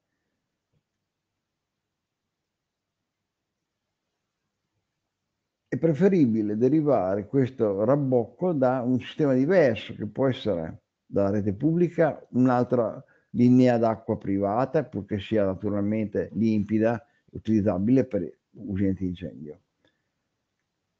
E i scenari di calcolo sono diversi perché le protezioni interne sono due verifiche, farò una per la protezione interna e una per la protezione esterna.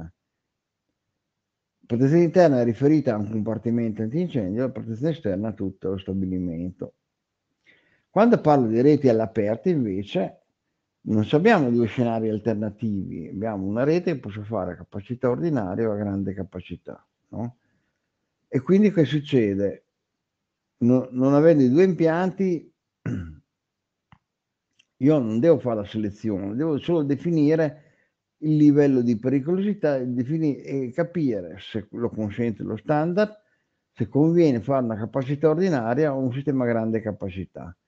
Quando decide di fare una capacità ordinaria c'è anche qua il discorso del rabbocco, sostanzialmente per i mezzi vigili del fuoco.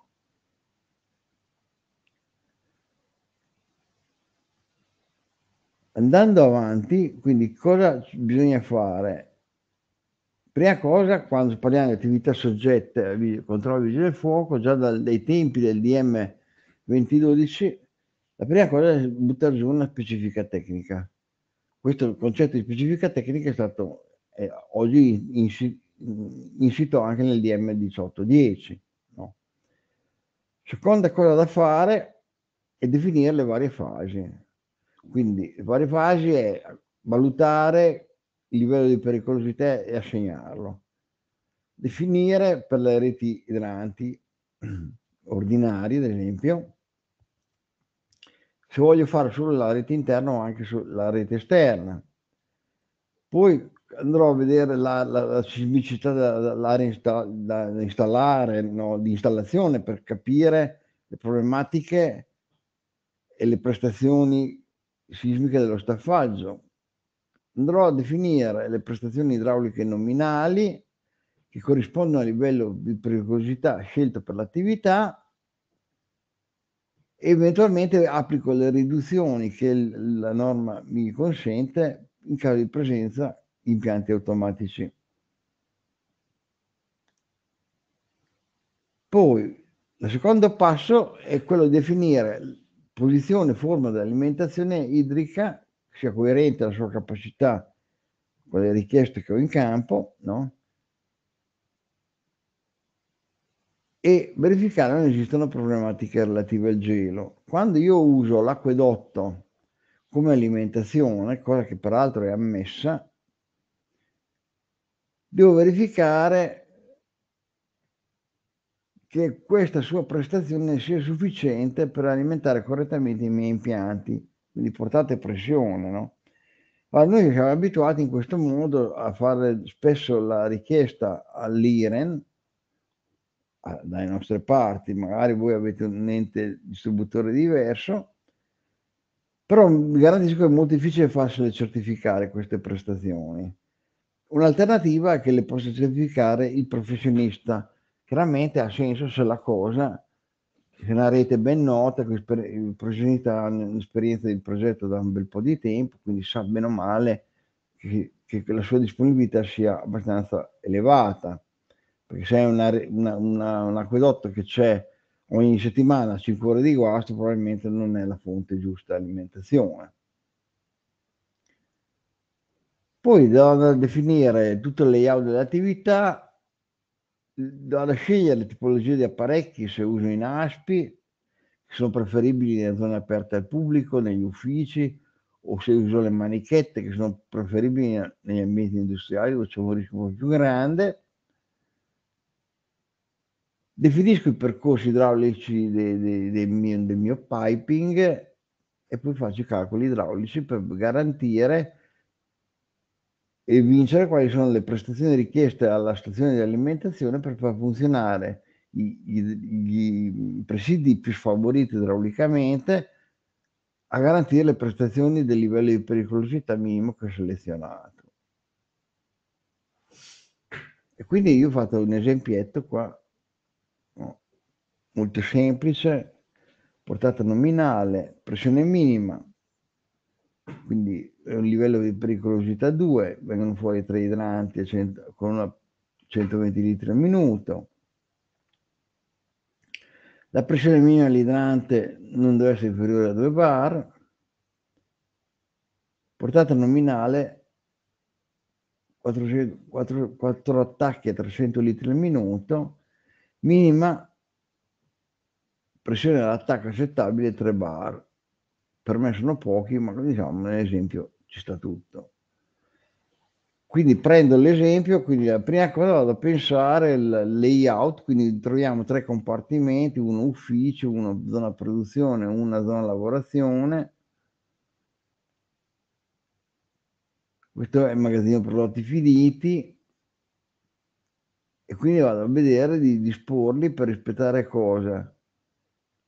Compartimento per compartimento rispettare le regole del filo teso. No? E non solo, quella della distanza reciproca dei due presidi. Quindi vado a fare le mie prime valutazioni, prendo il reparto produzione, utilizzo la regola della distanza dall'area coperta, sostanzialmente vedo che con questi due idranti io potrei avere risolto il mio problema. Poi vado a fare la regola del filo teso, cioè considerare i percorsi effettivamente, le zone veramente protette tenendo conto che presenza degli ostacoli che non possono essere rimossi. E quindi magari si allunga il percorso, lo sviluppo della manichetta, diciamo così. E quindi già da questa verifica salta fuori che ad esempio questi due idranti non bastano, perché il filo teso mi lascia dei buchi, ad esempio quella zona qua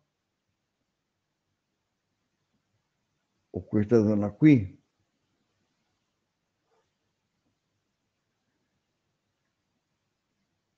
Alla fine che si fa? Si integrano gli idranti che mancano per garantire il rispetto di tutti i requisiti di posizionamento. E così funziona tutto. Dopo si passa magari al magazzino, si fa lo stesso ragionamento, tenendo conto che anche queste, che c'è anche per gli scaffali il problema, anzi uno dei problemi maggiori per gli scaffali è rispettare questo discorso di distanze fra gli idranti, no?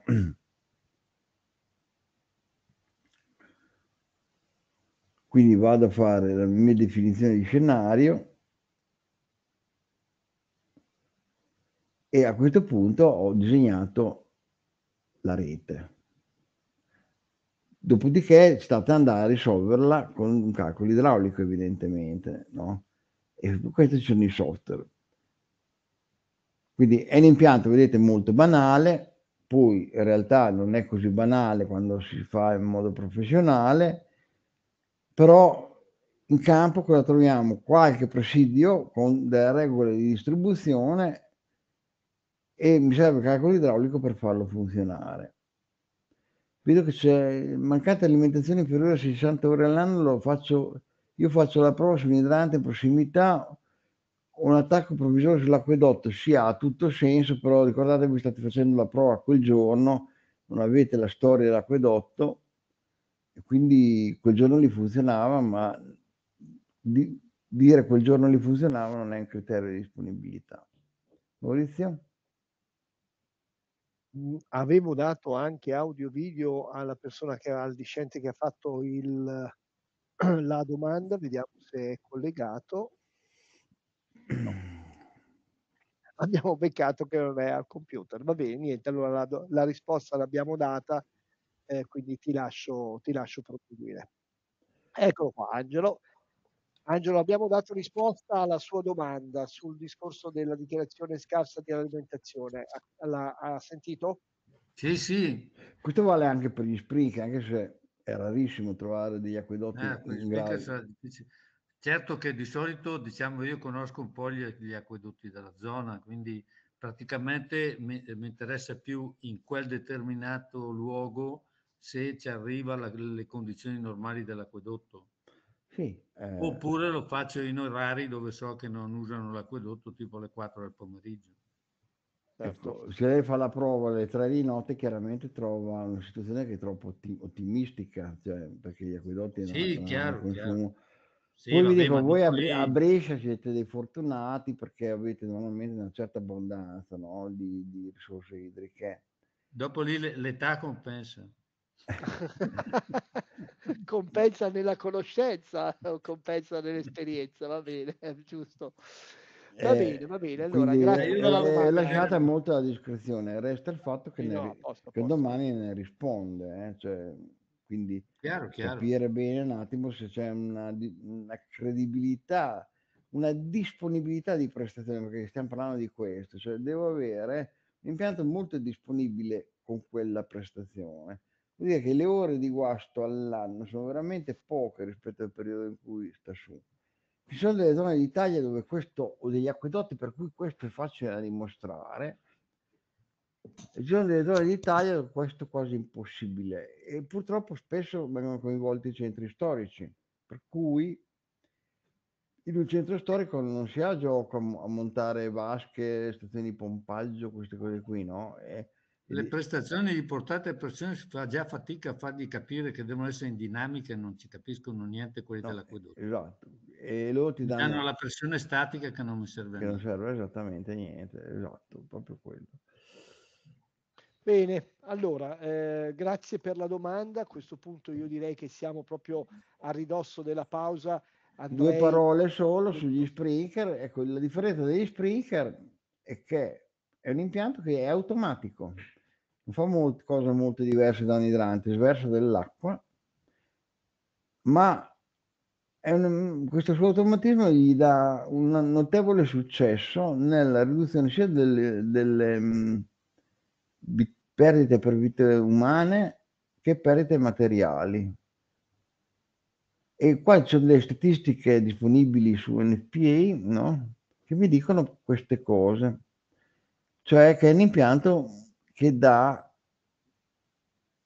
una certa efficacia e disponibilità per combattere questi problemi. Vedete, vengono, queste statistiche in FPA vengono valutate addirittura chi ha causato l'incendio, probabile, sono studi abbastanza importanti, no? E sono anche corredati dai fattori di successo, cioè quante volte l'impianto Spring è dato morale sono delle tubi con delle testine che, si ha, che scaricano. Però a progettare questi oggetti diventa una cosa decisamente più complessa perché sono una miriade di regole sia geometriche che di calcolo, che di distanza da rispettare, per cui è un lavoro molto specialistico. Poi tra questi impianti che scaricano ce ne sono degli altri che invece magari che scaricano dei gas, no? Certo. Quindi sono disciplinati da altre norme. Vi dico, questo è tutto sommato l'impianto di utilizzo più frequente che potreste trovare a utilizzare. Allora Marco, ci fermiamo un quarto d'ora per la pausa, poi proseguiremo dopo, quindi avremo ancora una buona mezz'ora abbondante per proseguire. Allora io direi ci fermiamo eh, per la pausa caffè, eh, ci rivediamo fondamentalmente alle ore 16 e 15. Marco, okay. buon caffè anche a te Grazie. e a dopo. Grazie.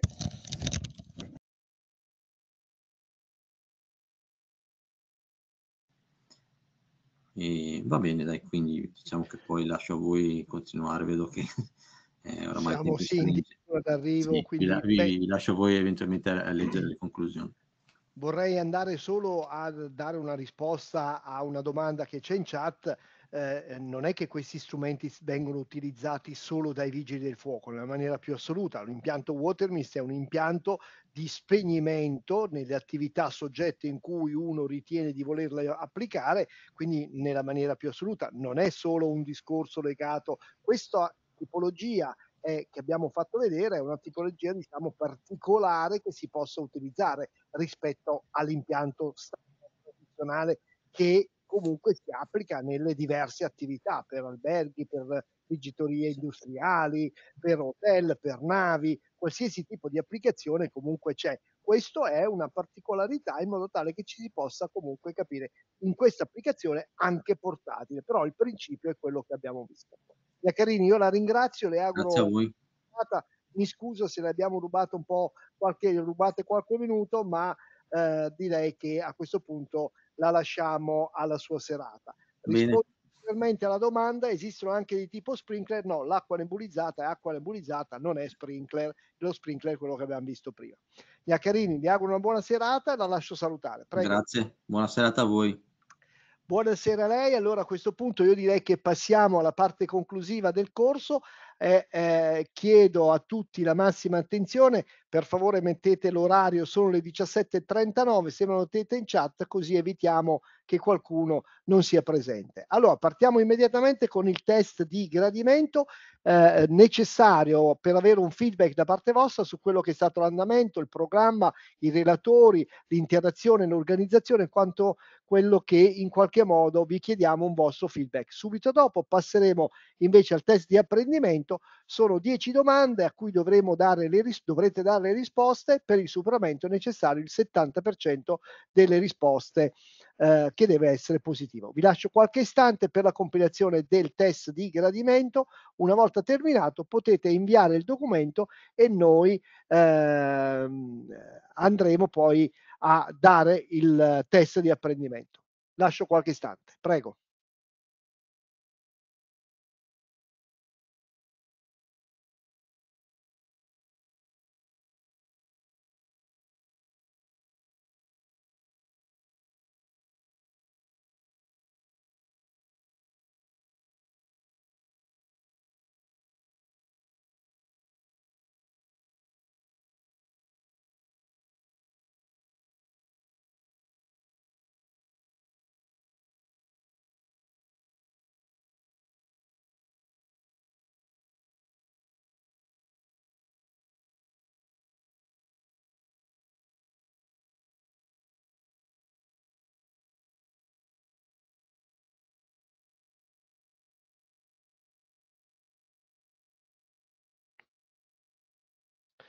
Bene, allora andiamo. A questo punto, vado a condividere il test di apprendimento, in questo caso tutti i campi sono obbligatori, dovremo, dovrete indicare i vostri dati personali eh, e dopodiché una volta che siete pronti, andiamo a leggere le domande, io vi leggo le domande, voi date le risposte all'interno del documento che state compilando e che rimane agli atti del Ministero dell'Interno e dopodiché andremo a verificare e darete la risposta anche all'interno della chat, serve a noi per poter verificare se la domanda letta è stata correttamente interpretata.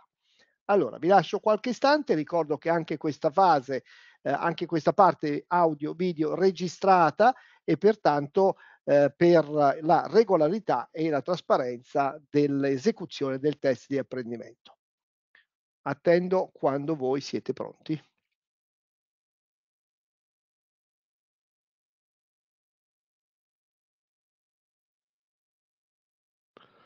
Ok, perfetto.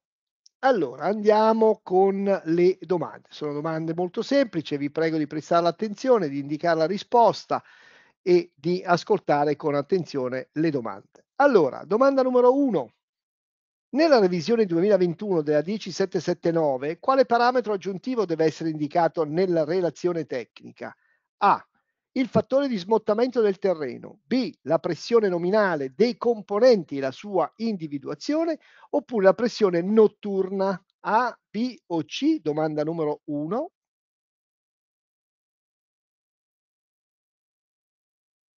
Ok, non sorridete se trovate delle risposte, come dire, abbastanza birlacche, ma serve proprio per dare una mano nel, nell'individuare la risposta corretta. Domanda numero due.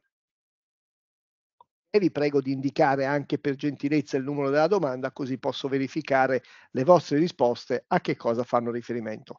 Le valvole di sezionamento dell'anello antincendio servono a che cosa? A. Escludere una parte occorsa in un guasto mantenendo funzionante la parte non danneggiata. B per i collaudi, C per completare la specifica tecnica. Ok. Domanda numero 2, perfetto. Perfetto, grazie. Passiamo alla domanda numero 3. Il livello di pericolosità di una rete idranti si determina in base a domanda A della RTO di M18 ottobre 2019 oppure dalla valutazione del rischio per attività specificatamente normate eventuali prescrizioni di regolamenti di prevenzione incendi o dal decreto impianti 2012-2012 oppure risposta C in base a equivalenza con il DM 10 marzo 98 rischio basso pericolosità 1 rischio medio 2 alto 3 A B o C. Quindi il livello di pericolosità di una rete idrante si determina in base a che cosa? Al decreto, alla valutazione del rischio, eccetera, eccetera, o in base all'equivalenza del DM del 10 marzo 98? Domanda numero 3. Eh, non può essere che solo quella. Domanda numero 4. Le reti idranti, secondo la 10779, si distinguono principalmente fra reti ordinarie e all'aperto, B, reti esterne e reti interne, oppure C, reti ad alta pressione e reti a pressione ordinaria. A, B o C? Domanda numero 4. Non vi dimenticate, signori, di dover inserire la risposta nel documento ufficiale che avete, che quello che avete aperto con il link, è quello che deve rimanere agli atti. Domanda numero 5. Le reti, eh, le reti all'aperti richiedono almeno un idrante Uni 70 soprasuolo o sottosuolo con forma Uni N 14384 o Uni N 14339 per il rabbocco dei mezzi WWF portata almeno 300 litri minuti, cauduno collegato alla rete acquedotto pubblico o privato o in subordine derivante dalla stessa rete idranti. A. Almeno due non contemporanei alla protezione interna. B. Solo per il livello 3 in alternativa alla rete idrante, alla rete esterna 120 minuti di funzionamento oppure risposta C solo per il livello 2 e 3 contemporaneo con funzionamento della rete idranti per tutta la durata del livello di contemporaneità. Quindi domanda numero 5, A, B o C. Ok. Domanda numero 6. L'azione della tecnologia Watermiss nello spegnimento del fuoco è maggiore per A. Per l'effetto bagnante dell'acqua che raggiunge la fiamma. B per la rapidissima evaporazione dell'acqua in microgocce, C soprattutto per la velocità delle microgocce. A, B o C? Qual è l'azione della tecnologia Watermist nello spegnimento del fuoco? A, B o C? Ottimo. Un sistema estinguente Watermist può essere mobile e fisso, solo fisso o solo mobile? A, B o C?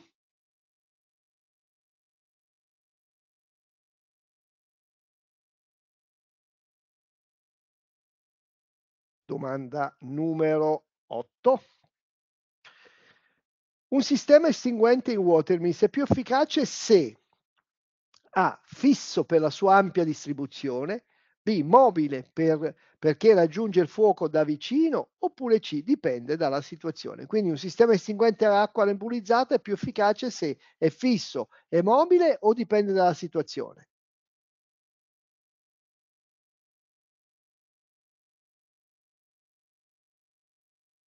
Bene, ok, ricordatevi di compilare anche il documento ufficiale formale che è all'interno, che avete aperto con il link. Il backdraft è A, un'esplosione, un tipo di ugello o un sistema water mist specifico? Domanda numero 9, che cos'è il backdraft? Ok, perfetto.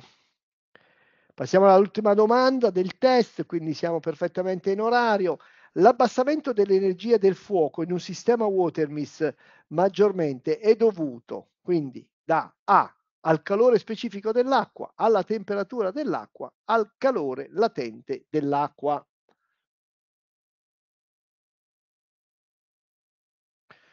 Beh, io direi che dalle risposte viste all'interno della chat possiamo dire che mh, tutti abbiate, eh, salva, abbiate eh, superato il test. Allora, signori, potete utilizzare il tasto invio, riceviamo il, documento, subito dopo potete anche fare la verifica del risultato. Ricordo che l'attestato di partecipazione per chi ha superato il test sarà disponibile non prima di quattro giorni lavorativi, dopodiché a vostra cura dovrete inviarlo all'ordine di appartenenza che provvederà all'aggiornamento delle ore per il mantenimento di iscrizione all'albo ministeriale. Signori, se avete terminato potete eh, inviare il documento e potete anche abbandonare la piattaforma col tasto centrale termina meeting, termina riunione. Grazie a tutti voi e una buona serata.